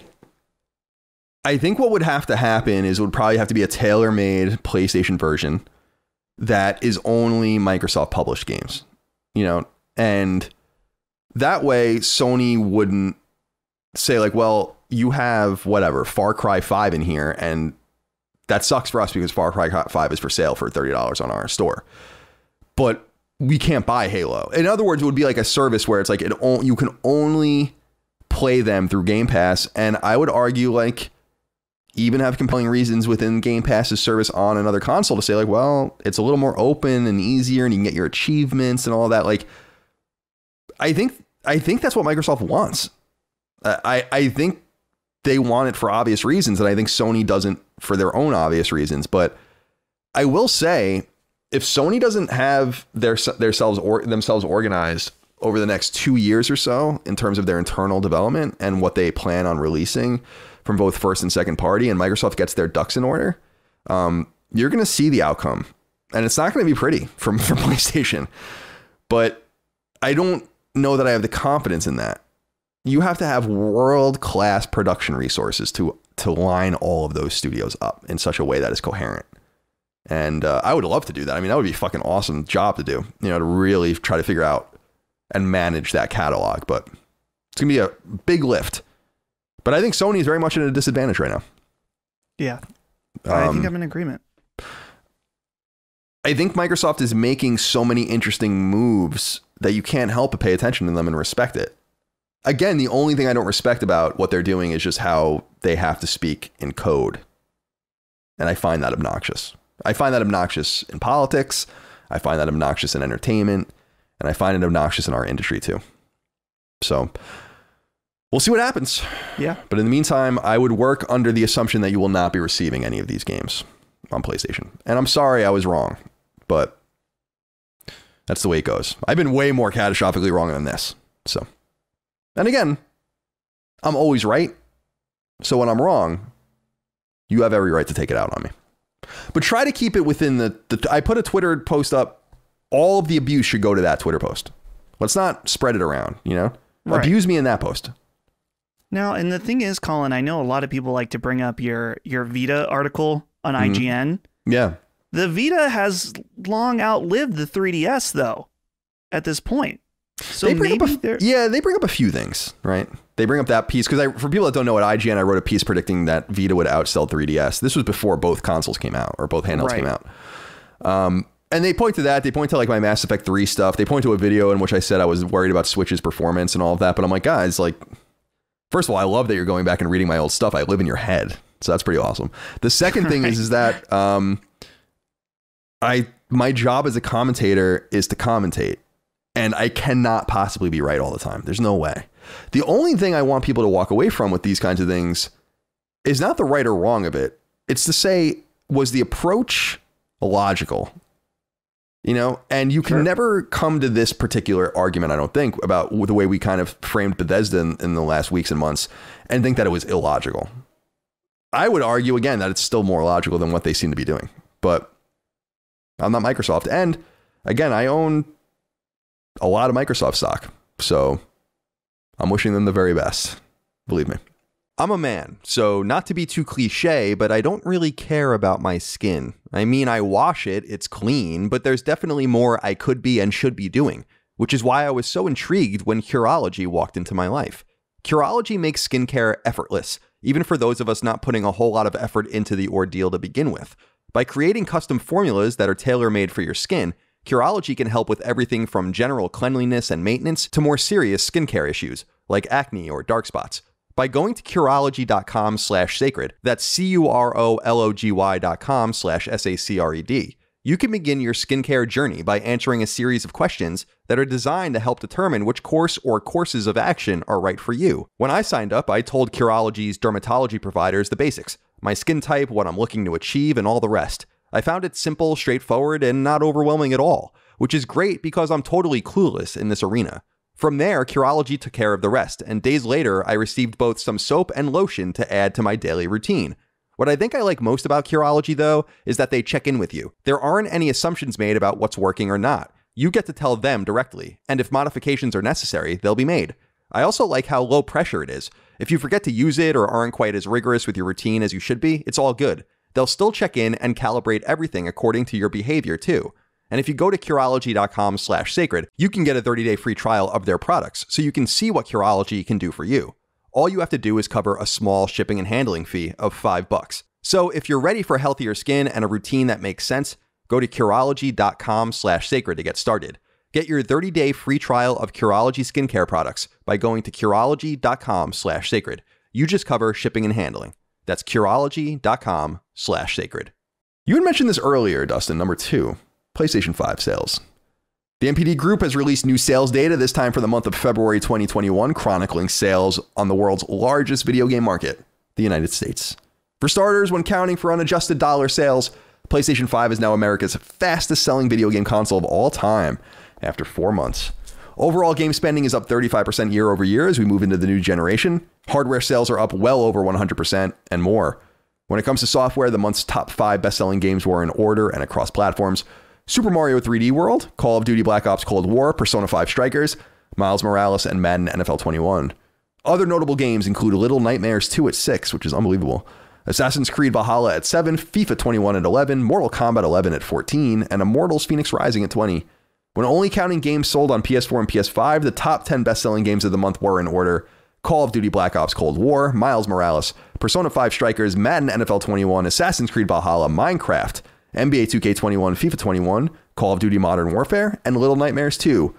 2021's best selling games across platforms so far are in order Call of Duty Black Ops Cold War, Super Mario 3D World, Miles Morales, Assassin's Creed Valhalla, Madden NFL 21, Mario Kart 8 Deluxe, Animal Crossing New Horizons, Call of Duty Modern Warfare, Persona 5 Strikers, and Ring Fit Adventure.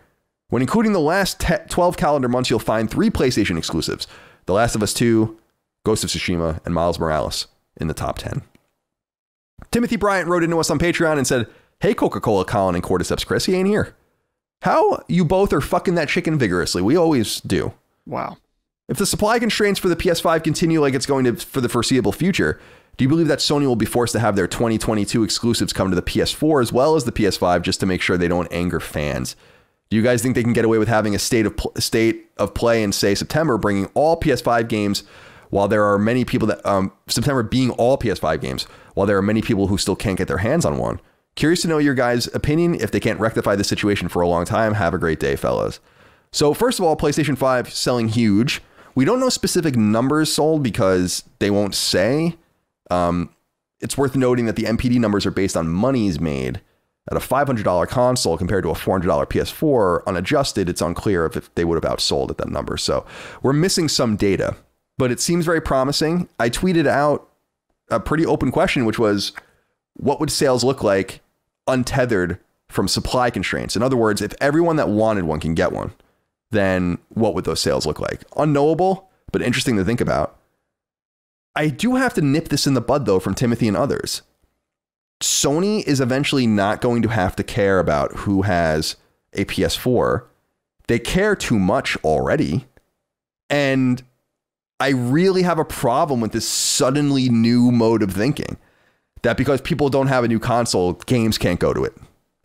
You know, it's it's like a totally new argument. I've never I've been in this industry for over 20 years. Never heard that. Never heard that argument until these last few months. So we know Horizon's going to PS4. I really think that's where it stops. Uh, I don't know that we're going to get much more than that. I understand the mentality of tapping into that old player base, but and I'm worried about God of War being cross gen, which I think would suck. But I just don't know that we ever had a different generation, Dustin, where people were so worried about holding games back because they can't find a console. It seemed, I'm not saying Timothy is saying it like this, but a lot of people do say it in a very selfish way. And it's like, dude, we're not all going to wait. It's not reasonable. Why do we have the console now then? And that's why I keep saying I don't think there's really much reason to even own a PS5 right now. What do you think about the sales success and what Timothy said here about PS4 and all the rest? Yeah, the argument about because we got into this when we were talking about how Resident Evil said, "Oh, Resident Evil 8 is coming to current gen." I'm like, no, it's coming to last gen because PS5 is here now. PS5 is now current gen, and so people argued with me about this. And somebody, again, I'm sorry, I can't remember who said this. This was months ago, but they were like, "The only console I have is a Commodore 64, therefore it's current gen."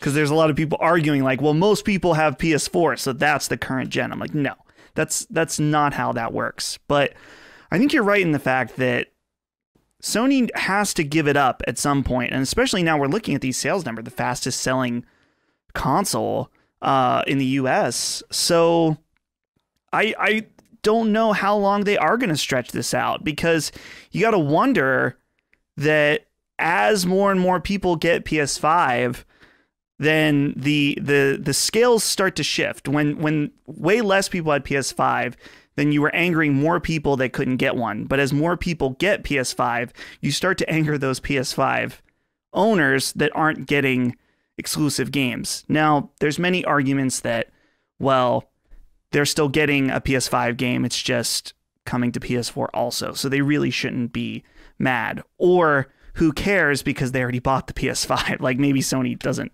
really care about upsetting those people because they're going to buy the PS5 version anyway. So I don't know. I wouldn't expect them to do this into 2022. I think that would be a very unwise decision and something that would also maybe potentially frustrate uh, a lot of their teams that maybe then you know, you have to imagine there's already quite a few games for exclusively on PS5 that are in development for 2022. And for them to come in now and be like, well, we can't get enough consoles out. We need you to make a PS4 version, right? Like, I don't know. It seems like you're you're kind of losing the point then at that point. Like at some point you got to make the cutoff. And and like like we said, it's the fastest selling console ever. There are more Tell me if this is accurate because this is what I'm gathering from this. There are more PS5s out in consumers' hands than there were PS4s at this point if you take from launch day to now. Is that right? Again, we don't know because the the numbers were different. So True.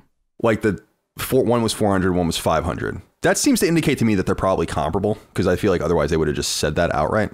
Right. Sony still hasn't confirmed how many they've sold, which is weird. I, I still don't understand that at all. But it's on it's on I'm uncertain about it. But it is weird. This this generation is the first generation ever where people are actively complaining and trying to hold games back for because they can't get a new console. As if new consoles are easy to find ever. Does no one remember the Wii? I mean, I don't know how many times I have to say this. The Wii was worse than this. Worse. So bad. I remember, dude. And the PS2 was pretty bad too.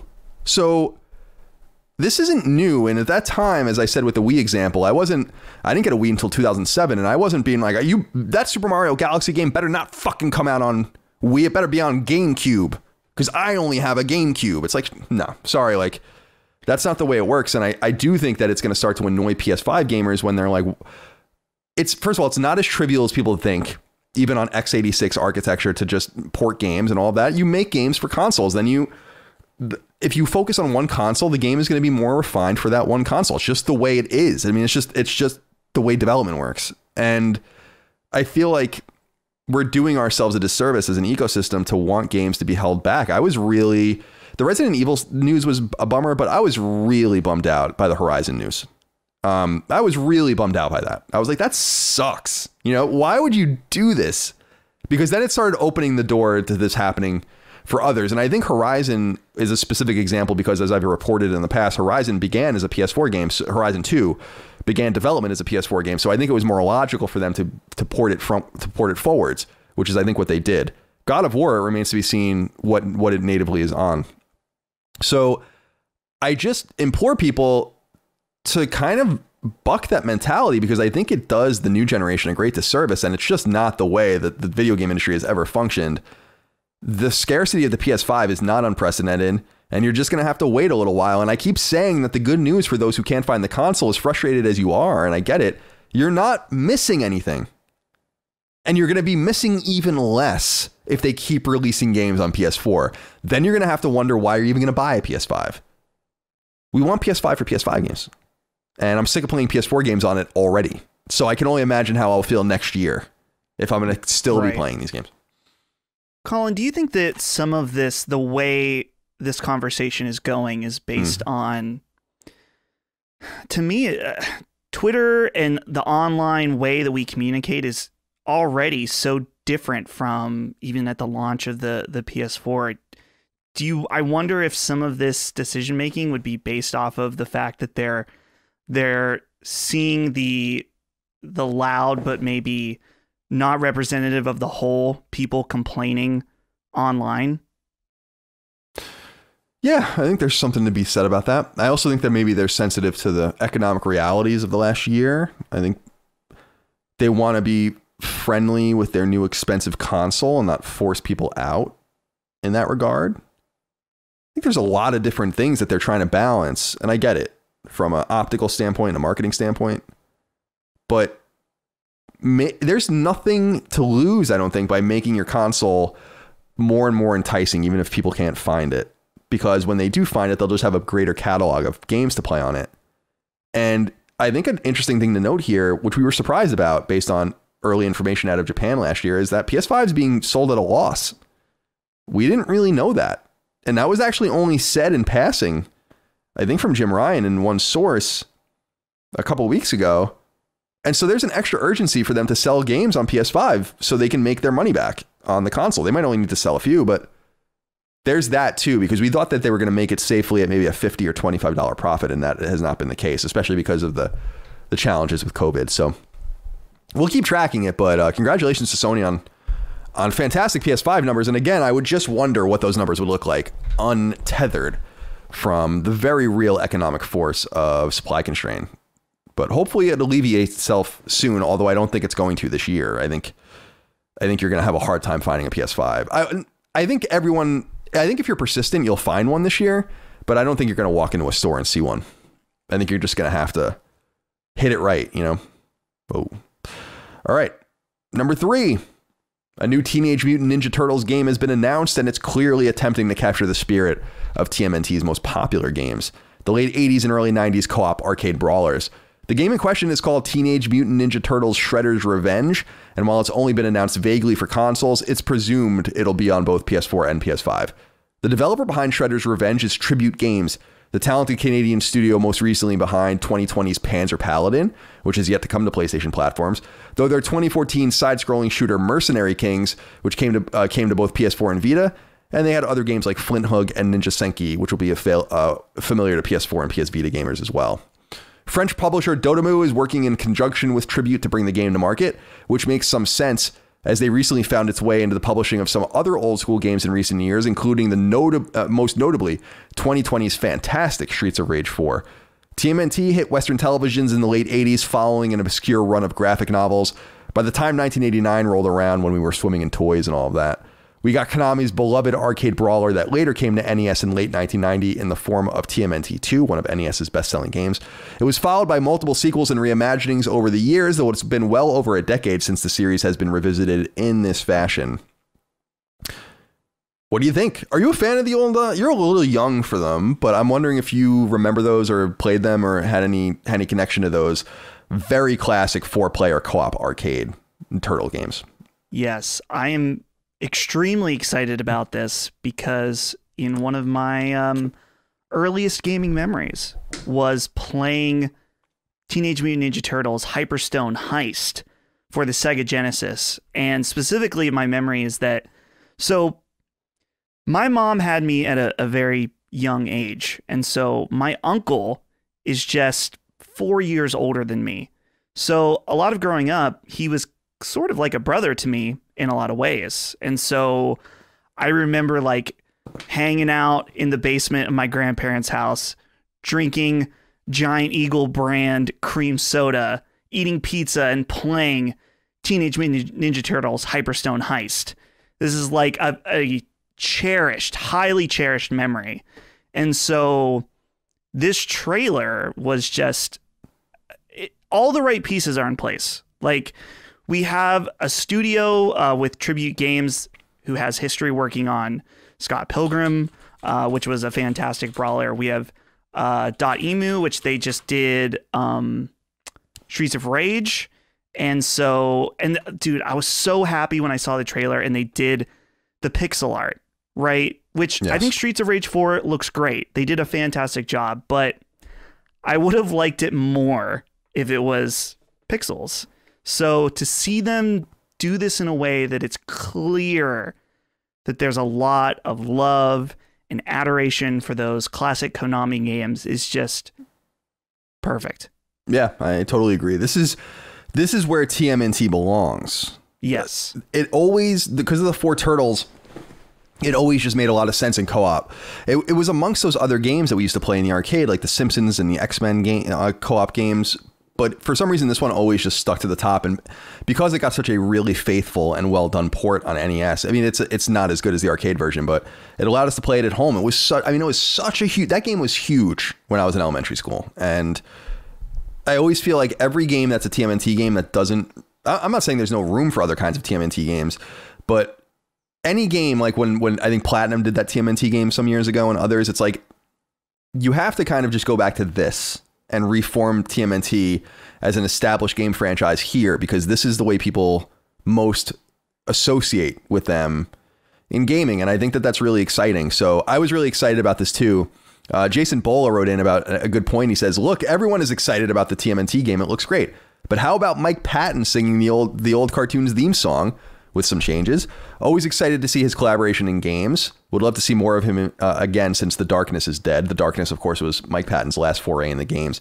And I, Mike Patton, of course, is the lead singer of Faith No More and Mr. Bungle. Yeah, that was. I'm a huge Faith No More fan, as I think the audience knows. So that was a cool little touch as well. And it was kind of, I think a very smart thing because if you go and look at Pitchfork and other music media, there's been a lot of pickups of this game in that vertical of entertainment because of this, which I think was a very clever thing for them to do. Um, and then Billy Deadman wrote into us with the you know the logical question. He says, "Cowabunga, last stand, dudes. Which turtle are you all picking in Shredder's Revenge?" I'm taking dibs on Mikey. Who do you gravitate towards? Who's your turtle? Leo, for Yeah, me too. sure. Yeah, definitely. Because I love, I mean, blue and then the the, the dual katanas, of Yeah, course. uh, doesn't get any better. I mean, that is so. Dagan and I were just talking about that actually. Like the the, the late '80s, early '90s katana obsession Yeah.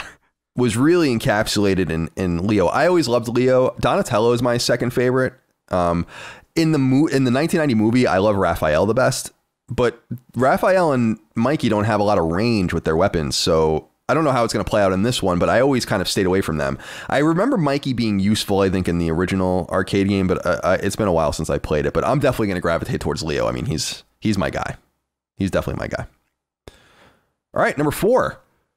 A few weeks ago, as we discussed, uh, we discussed the exciting news that publisher Electronic Arts was finally going to revisit its once popular and since abandoned NCAA football franchise, which has been dormant since 2013.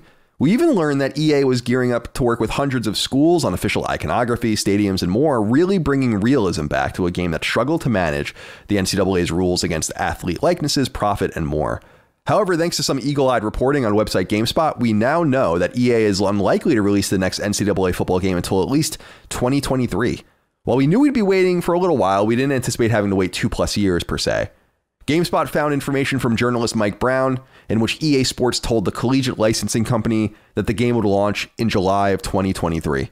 This is because, as Brown notes, the game doesn't only need to be made from the ground up, but they need to work on all the little things that could conceivably be then carried over into future games. Everything from logos and stadiums and uniforms to mascots and school bands and all the rest. NCAA Football 14, the last NCAA game, uh, football game uh, launched on PS3, July 9th, 2013. So it seems like they're going to maybe try to aim for the 10 year anniversary, which is smart it was interesting to read. I know this is not a, a, a topic for you because you're not a huge sports guy, but this is a really fascinating topic to read about because they really do have to manage so much. Because when you're making an NHL game or an NFL game, you really are dealing with two entities. You're dealing with like the NFL and the NFLPA, or the MLB and the MLBPA, or the NHL and the NHLPA. And that represents everything the players and the teams. But here, where there are no uniform rules in college football, really, you have to deal with all the different conferences and all the different teams, and they all want to do different things with their players, and they have different traditions and songs and bands. And it's like, I can only imagine that it's actually quite nightmarish. But once they get that out, then they can re- replicate it every year. So just wanted to throw that out there. We're not going to get the NCAA football game for probably two more seasons. I wanted to ask you about this next one, though, Dustin. Sure. See if it's something you're interested in. Number five. It looks like Shin Megami Tensei 3 Nocturne HD Remaster is readying for its Western release, something that was only tacitly acknowledged when the game was revealed for Japanese launch. It's already out in Japan, actually. Word comes by way of a leaked ESRB rating for the game, which confirms it's been submitted for American launch on PlayStation 4. However, no future, uh, no further details. I'm sorry on timing have yet been revealed. The Atlus developed and published game originally came to PS2 in Japan in 2003 and in the West in 2004, where it garnered a niche but hardcore audience. The series itself spans back to 1987 when the original Megami Tensei game called Digital Devil Story came to Famicom and elsewhere in Japan, and its 1992 sequel was only launched on Super Famicom in Japan.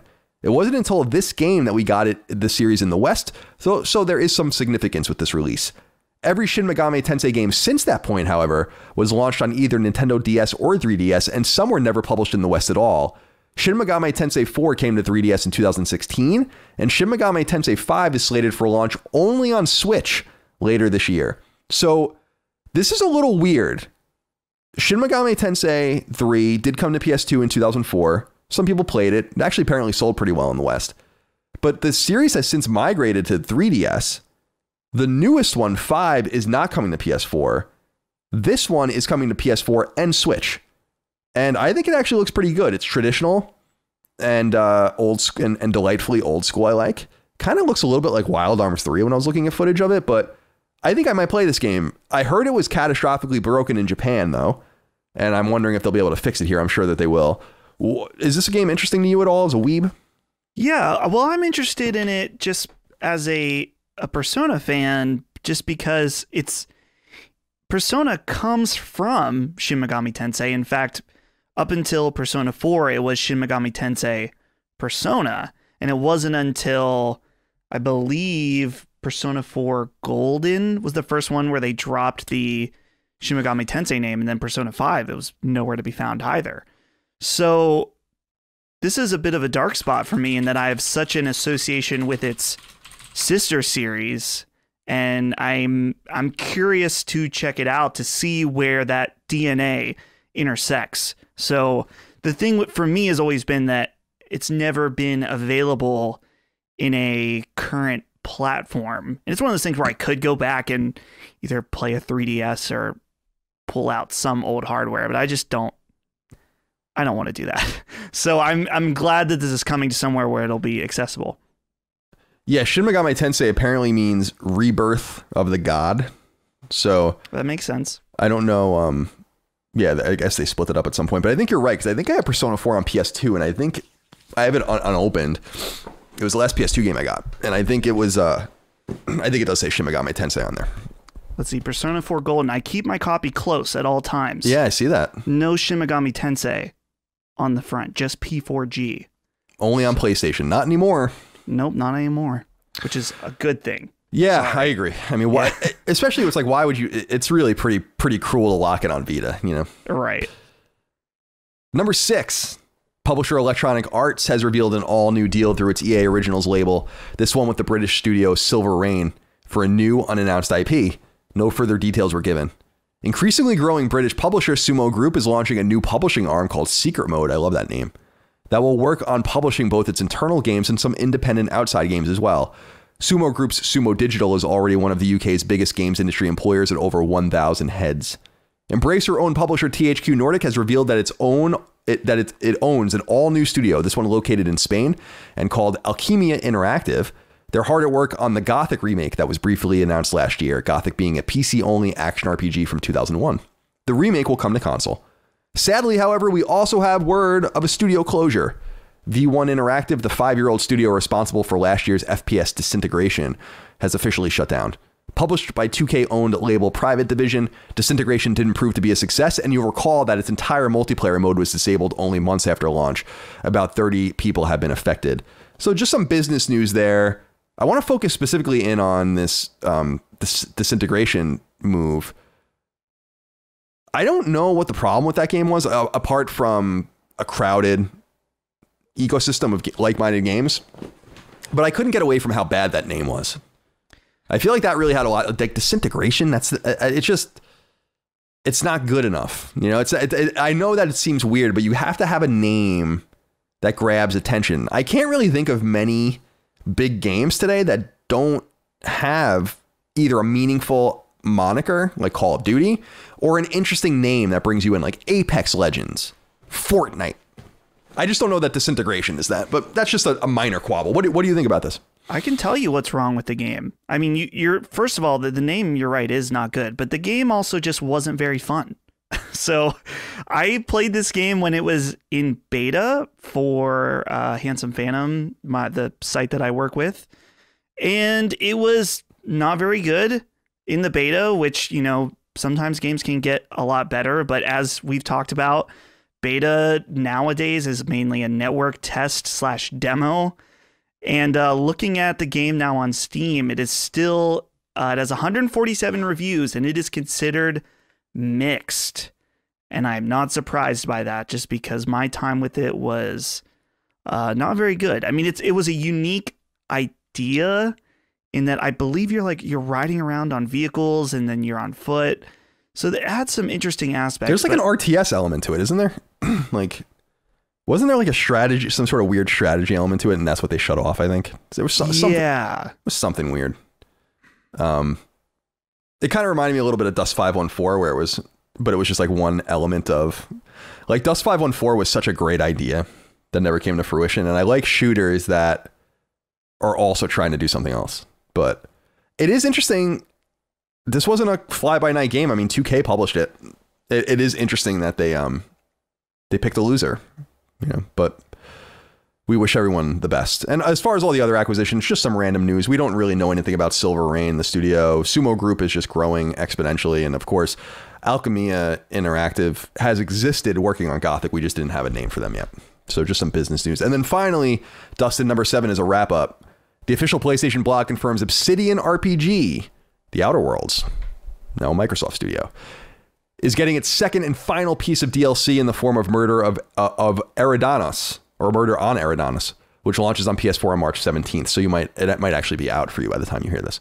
The site also revealed the co-op puzzle game We Were Here Forever, which comes to PS5 at an undetermined date in the future.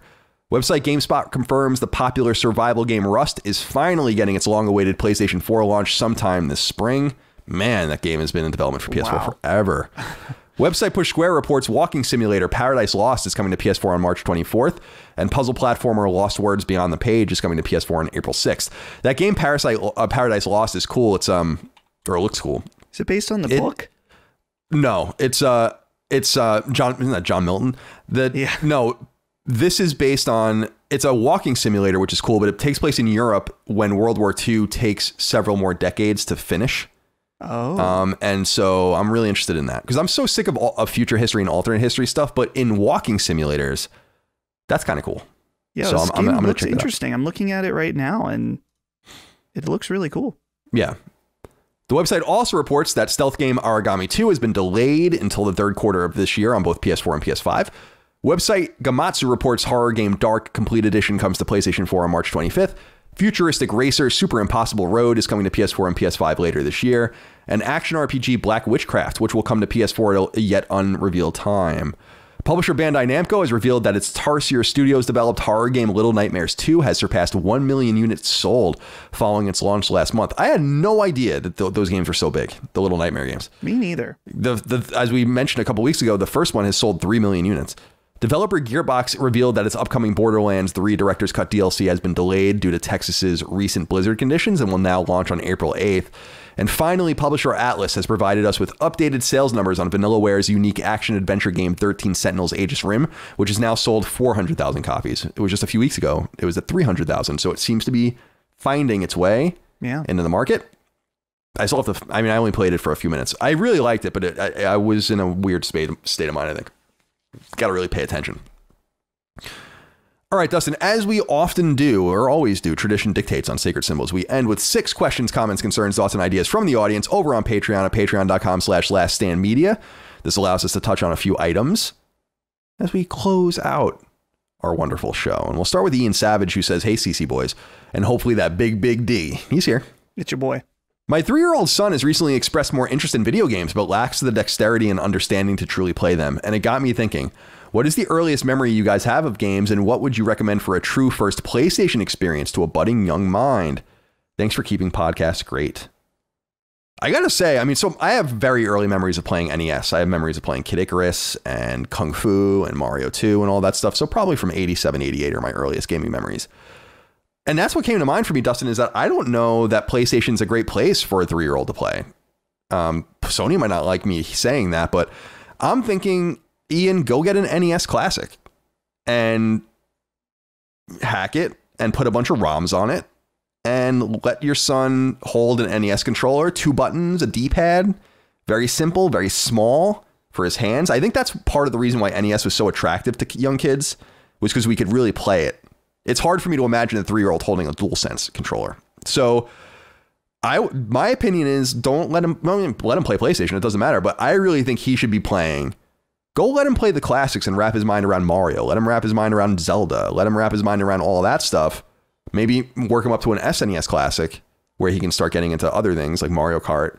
And then I think he'll when when when his mind starts wrapping his mind around those kinds of things, then then you move him on to PlayStation. At which point maybe he's a little older, he can hold the controller a little more comfortably. I don't know that PS5 is made or PS4 is made for three year olds, even if you go towards the games that are that are for younger audiences. What what do you think, Dustin?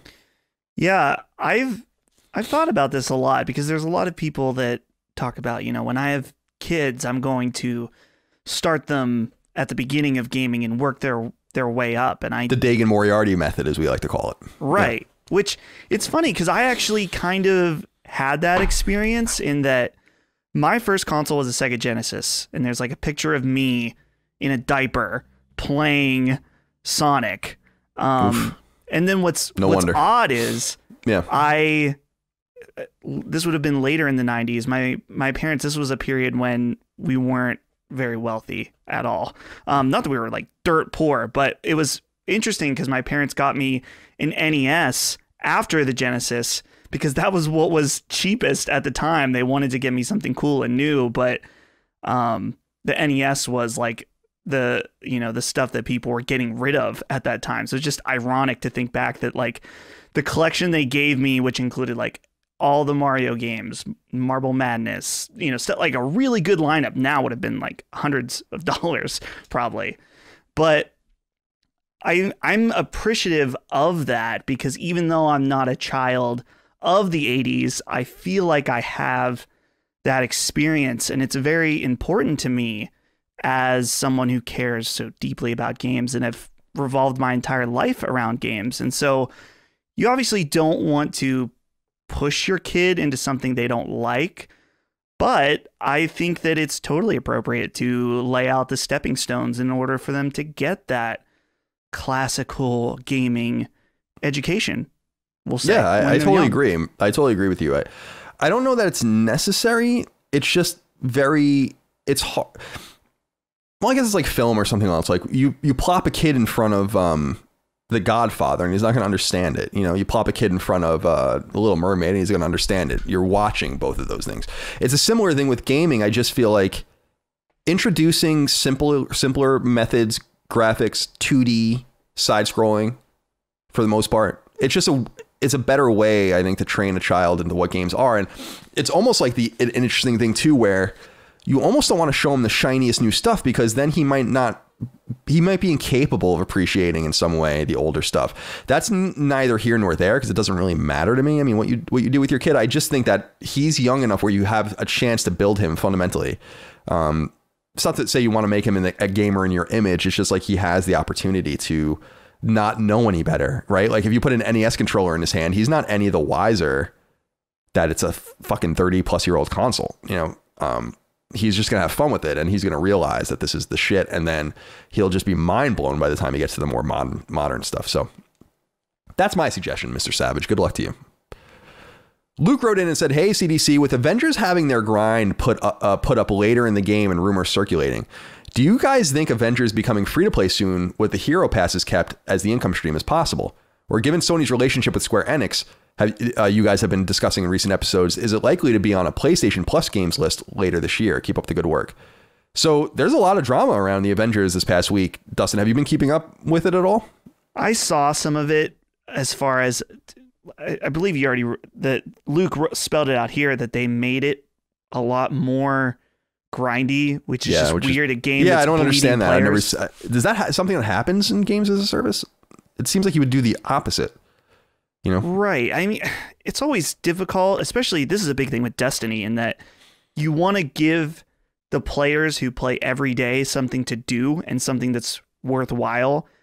Uh, but you also don't want your more casual fans to, um, you know, be overwhelmed by the amount of things. So, but I mean, Avengers is is not in the position that Destiny is, and that they are losing players. I'm sure r- regularly. So, yeah, I don't know. Yeah, it's. I don't know what Square is going to do with this game. I feel like here's the unfortunate reality for them is that they made most of their money like all games do at the very beginning, and they still lost seventy million dollars. So keeping this thing alive is going to cost them more money. The opportunity cost, which we always talk about on the show, is also present. If Crystal is working on this, they can't be working on something else. It's not to say that there's multiple teams, but certainly resources should be going towards what Crystal does best, which is single player games. And so I don't know what Square Enix's plan is with this. It would be interesting to make it a PS Plus game. I know that they still have characters they want to release. I know that they're going to continue to try. But I'll keep a close eye on Square Enix's financials moving forward because I wonder if they'll I wonder if that number will shorten, stay the same or grow. And even if it shortens to something more a loss more acceptable, the game's never going to be profitable.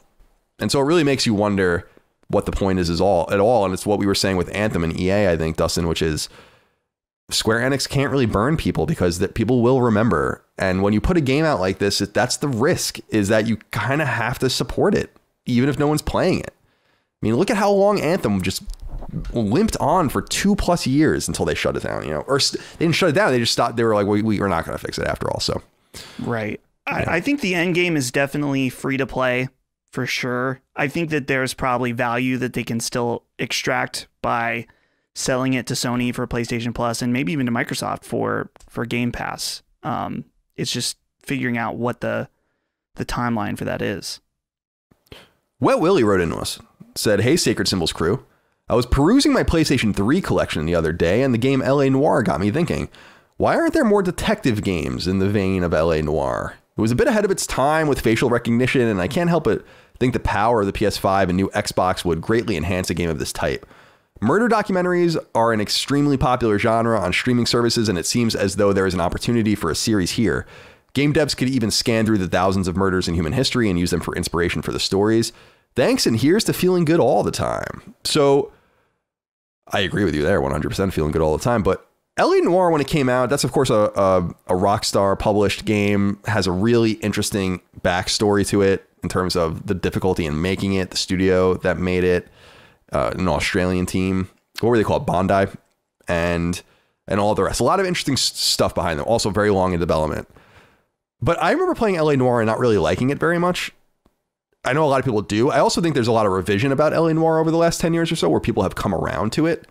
But I was going to say, Dustin, I feel like detective games do exist. I just feel like you're looking in the wrong genre. If you want this stuff, Wet Willie, and you're willing to play something that's a little more static, you want to go towards visual novels. I mean, that's where this shit goes down. I mean, games like Danganronpa and are, are murder mystery games. Um, games like Phoenix Wright are murder mystery games. Stuff like that. So go look into those games. I mean, if you're looking for something I know a little more third third uh, person, action oriented, maybe a little more beautiful, a little more AAA, yeah, you're not going to find those. But if you're looking for murder mysteries, they're everywhere. You have to just go and play, frankly, the more weeby visual novel stuff. What do you think, Dustin?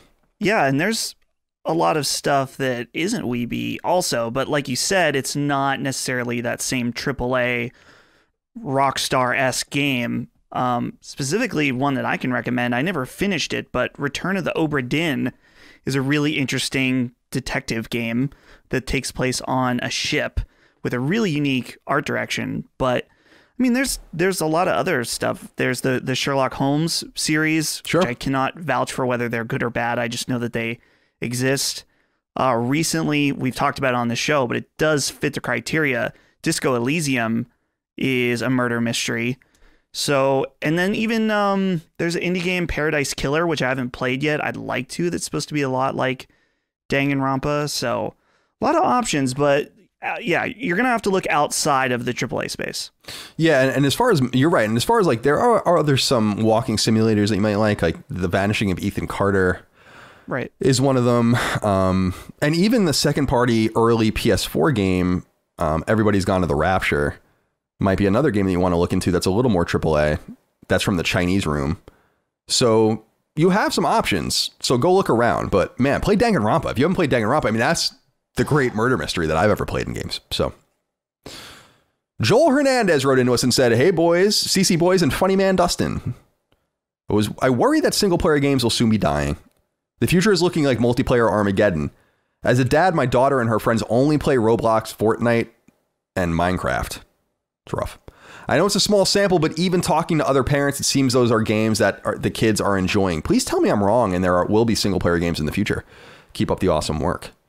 I think Joel is worrying for no reason here, although I understand why he is worried because what he's seeing anecdotally in his own life. Single player games are alive and well, and, and you're in the right ecosystem for them as long as you take Sony at their word, and maybe you do, maybe you don't, maybe you don't, but that they're going to be dumping most of their resources into continuing their trend of single player game, AAA games. So single player is, is vibrant and strong. I also think it's where risk averse money is starting to go because, as we were just saying, when you have a game like Disintegration or whatever, and you have to support it, then that costs money on the back end. Or like we were saying with the Avengers, these games cost more money to make, more money to test, more money to sustain, and more money to support. And I think people are looking at single player games now as like, this is what a lot of people want to play. You're not going to sell 25 million copies of your single player game, but it's a safe game to make. People want to play single player games. And the multiplayer games that people play, like he had said, like Joel said, Dustin, these are the do- dominant games. It's not like there's a million of them. Minecraft and Fortnite are amongst the biggest getters of those multiplayer eyeballs. So there's not a lot of competition in that space, whilst there is a lot of competition in the single player space. So it could seem upside down, but I don't think there's anything to worry about. What do you think? I think that it's it's important to consider that we're continually introducing more players and more studios into the industry. And so yeah, you see maybe that generation of, you know, his kids or whatever that play a lot of multiplayer games, but I don't know if that means we're going to see an industry shift. I think it's just we're going to see more multiplayer games alongside of single players. There's there's more of every type of game right now. So I yeah, I, I'm with you, Colin, in that I don't think there's any reason to be uh, concerned because there's you know single player games are still selling very well. We see EA, one of the biggest publishers, recognize that and remove multiplayer elements from a game that they were originally trying to shoehorn multiplayer in Yep, uh, Dragon with Dragon Age. Age. So Right. there's nothing to worry about. No, I, I agree. I, I think if it was 10 years ago, I can understand why you'd be concerned. Sure. Because that was when everyone was trying to well, I always use Bioshock 2 as an example, but every game had like a multiplayer component. It was unclear like what was the most important part of the game. It was very mixed up. Everyone was confused. I feel like we're we're past that now, and so I think we're in better shape now. Sam Torstenbo wrote into us and said, "Hey CCP, CCCP, like the Soviet Union, with the closing of Japan Studio, what will happen to Fumito Ueda and Team Ico? It's my understanding that Team Ico was nested in Japan Studio. Do you think there's a, a Ueda project that works, or was The Last Guardian such a failure that Sony isn't willing to give them another chance? I quite enjoyed The Last Guardian, Shadow of the Colossus, and Ico, and would be quite sad if Ueda went the way of Katamari creator Keita Takahashi and left the industry entirely. No, that's not going to happen, Sam. I'm very pleased to let you know what is going on with Ueda. So Team Ico disbanded during the the development, the long protracted development of The Last Guardian. It was finished with the help of Japan Studio by an external team led by Ueda called Gen Design, G E N D E S I G N. And Gen Design finished Last Guardian. You'll notice that they're built on it.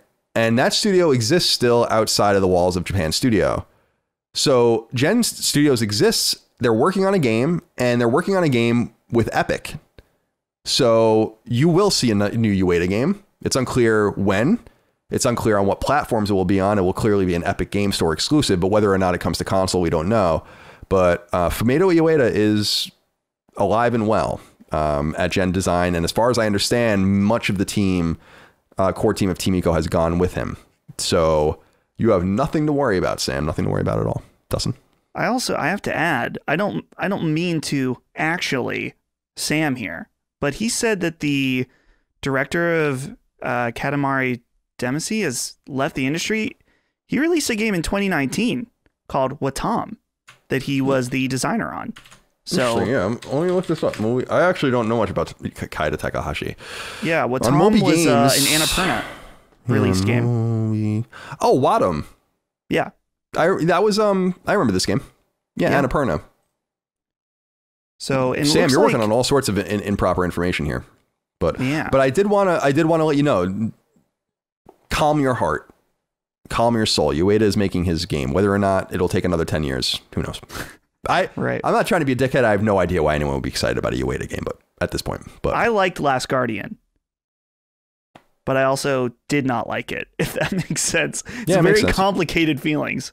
It's how I felt about Shadow of the Colossus when I finally beat it uh, earlier this year or last year.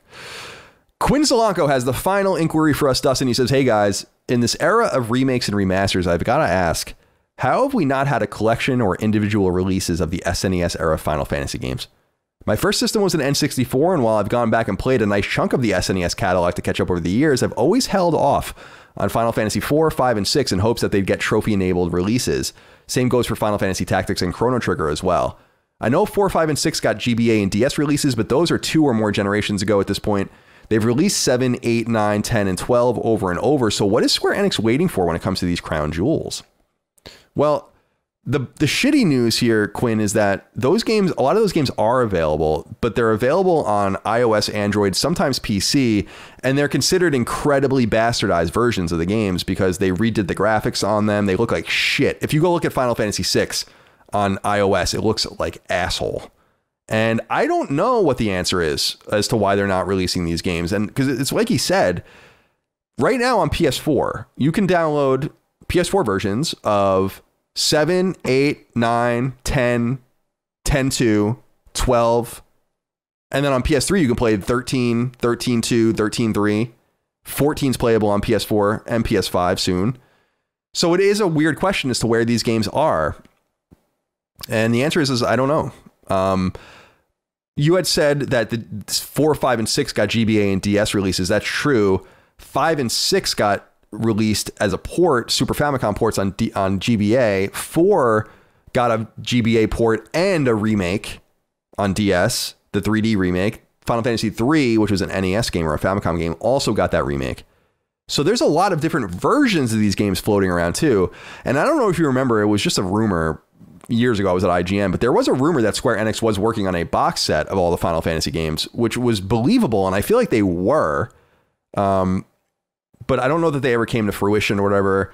They did release a lot of those games on PS1, so if you have access to a PS2 or a PS3 that plays PS1 games, you can find Final Fantasy Anthology, Final Fantasy Chronicles, Final Fantasy Origins, and play all of those games. I still say though the GBA versions of 4, 5, and 6 are the best ways to play them. So um, and four also has a really good complete collection on PSP that came out in 2011. So you can check that out as well. Do you have any thoughts on this, uh, Dustin? Yeah, it's disappointing, especially when you look at like I'm looking at the screenshots from Final Fantasy VI on Steam. It's awful. It's horrible. It looks real bad. Which I'm, I don't know what they were thinking because that's like one of the most beautiful pixel art games ever. Right. And I just don't understand. I to my understanding they had to go and like fix the UI. Like basically they just took the mobile version and then put it on Steam and left a mobile UI on the PC version, which that doesn't work. You can't just do that. So they had to go and fix it. To me, uh, now Colin, I know you've had conversations about wh- how or if you'd like to see Final Fantasy VI remade my dream is that they would take the team that does Octopath Traveler and remake Final Fantasy VI in that style and that they can stay true to the uh, like you said the beautiful pixel art that they did and present it in an entirely new way maybe add voice acting something like that there's there's so many different ways or you know maybe a Final Fantasy VII remake treatment would be in order I just feel like th- those things would be cool, but I feel like the reason Final Fantasy VII Remake made sense was because they they released Final Fantasy VII on PS4. I think Right. before we get any remakes, we need to people need to have access to the originals. And I don't know what it's the same thing. He brought up tactics as well. It's like I don't know what why they won't release these games. It's like if I own these games, I'd be like, let's get them out immediately. Let's make an awesome trophy list. You know, make some extras for these, and and they would sell. They would definitely sell. I mean, these are huge games, and so I can't help but wonder. Um, they know that, so they must have some sort of plan. I think they read the the feedback that they got on the iOS, Android, and Steam ports of those various games when they redid them in a more flat 2D version, which is they're horrible. So four, five, and six, especially four and six, although I love five as well, they're classic, and it would be awesome to see those games and Final Fantasy Tactics and like you said, Chrono Trigger, um, and all the rest. And you had brought up Octopath. I think that that, that team seems to be inspired by Saga Frontier, and we're we're getting Saga Frontier back soon in a re, in like a re-release. So maybe they'll. I feel like that team would ma- remake those games if anything, but I don't. I don't. Because Saga Frontier is all about the different characters and all of that, and I feel like they're taking a lot of inspiration from that. But um, I don't know, Quinn. I don't know what the story is here, but that's all we have, Dustin, for this episode of uh, Sacred Symbols of PlayStation podcast. It's a little shorter than we've been going recently, but there's not that much news. I mean, I can't I can't create the news. I'm not Right. that powerful, you know. Yeah, well, the we're starting now. Let's see, we're mid March, so we've got April and May, and then we're starting to lead into the summer E3 esque, whatever that looks like. Yeah, whatever it looks like. Plus, Returnal and Ratchet come out in the next couple months, so we'll be talking about those and Yeah. and all the third party games. Resident Evil will come out soon. So yeah, lots of different things. So I just want to reiterate, I'll be on with Mr. Matty Plays, our Xbox expert, on Sacred Symbols Plus next week to talk very deeply about Bethesda. So we'll get back to that. Dustin will be back on the show, I'm sure, next week or in the coming weeks. Chris will be back. Uh, hopefully, he's not ill again next week. And all the rest. Do you have any closing comments before we go, Dustin? No closing comments other than just to remind people if you're at the $5 level, you have access to our Discord. I feel like I want to plug that because some people still don't know. Yeah, I'm not, I'm not great. I'm not great. I'm not a great self promoter. You know, Either, yeah. No, it's um. There's a lot of that's the thing, Colin, is that we offer so much in our, especially at the five dollar level. It's hard to include everything that you get. So that's true. That's true. Very Um, good. check that out. We already talked about merch, but yeah, check it out. Get yourself. Somebody online said that this mask looked like Antifa gear. Oh, so cool. you know, if you want to light a trash can on fire, yell at your mom, this might be the mask to do it in. Yeah, if you're going to storm a courthouse or something, just don't wear that. No, don't wear this. Uh, all right. Well, Dustin, thank you for your time today. Appreciate you. Uh, No Thank you all out there for your time, love, support, everything you do for us. We couldn't do it without you. So uh, enjoy the show. Hope you enjoyed the show. Enjoy all the other stuff we do. And we'll see you next time for more Sacred Symbols. Until then, goodbye. See you later. Sacred Symbols, a PlayStation podcast, is a product and trademark of Last Stand Media and Colin's Last Stand LLC, and is recorded from Central Virginia and Burbank, California, USA. The show was conceived by, is written by, and is produced by me, Colin Moriarty.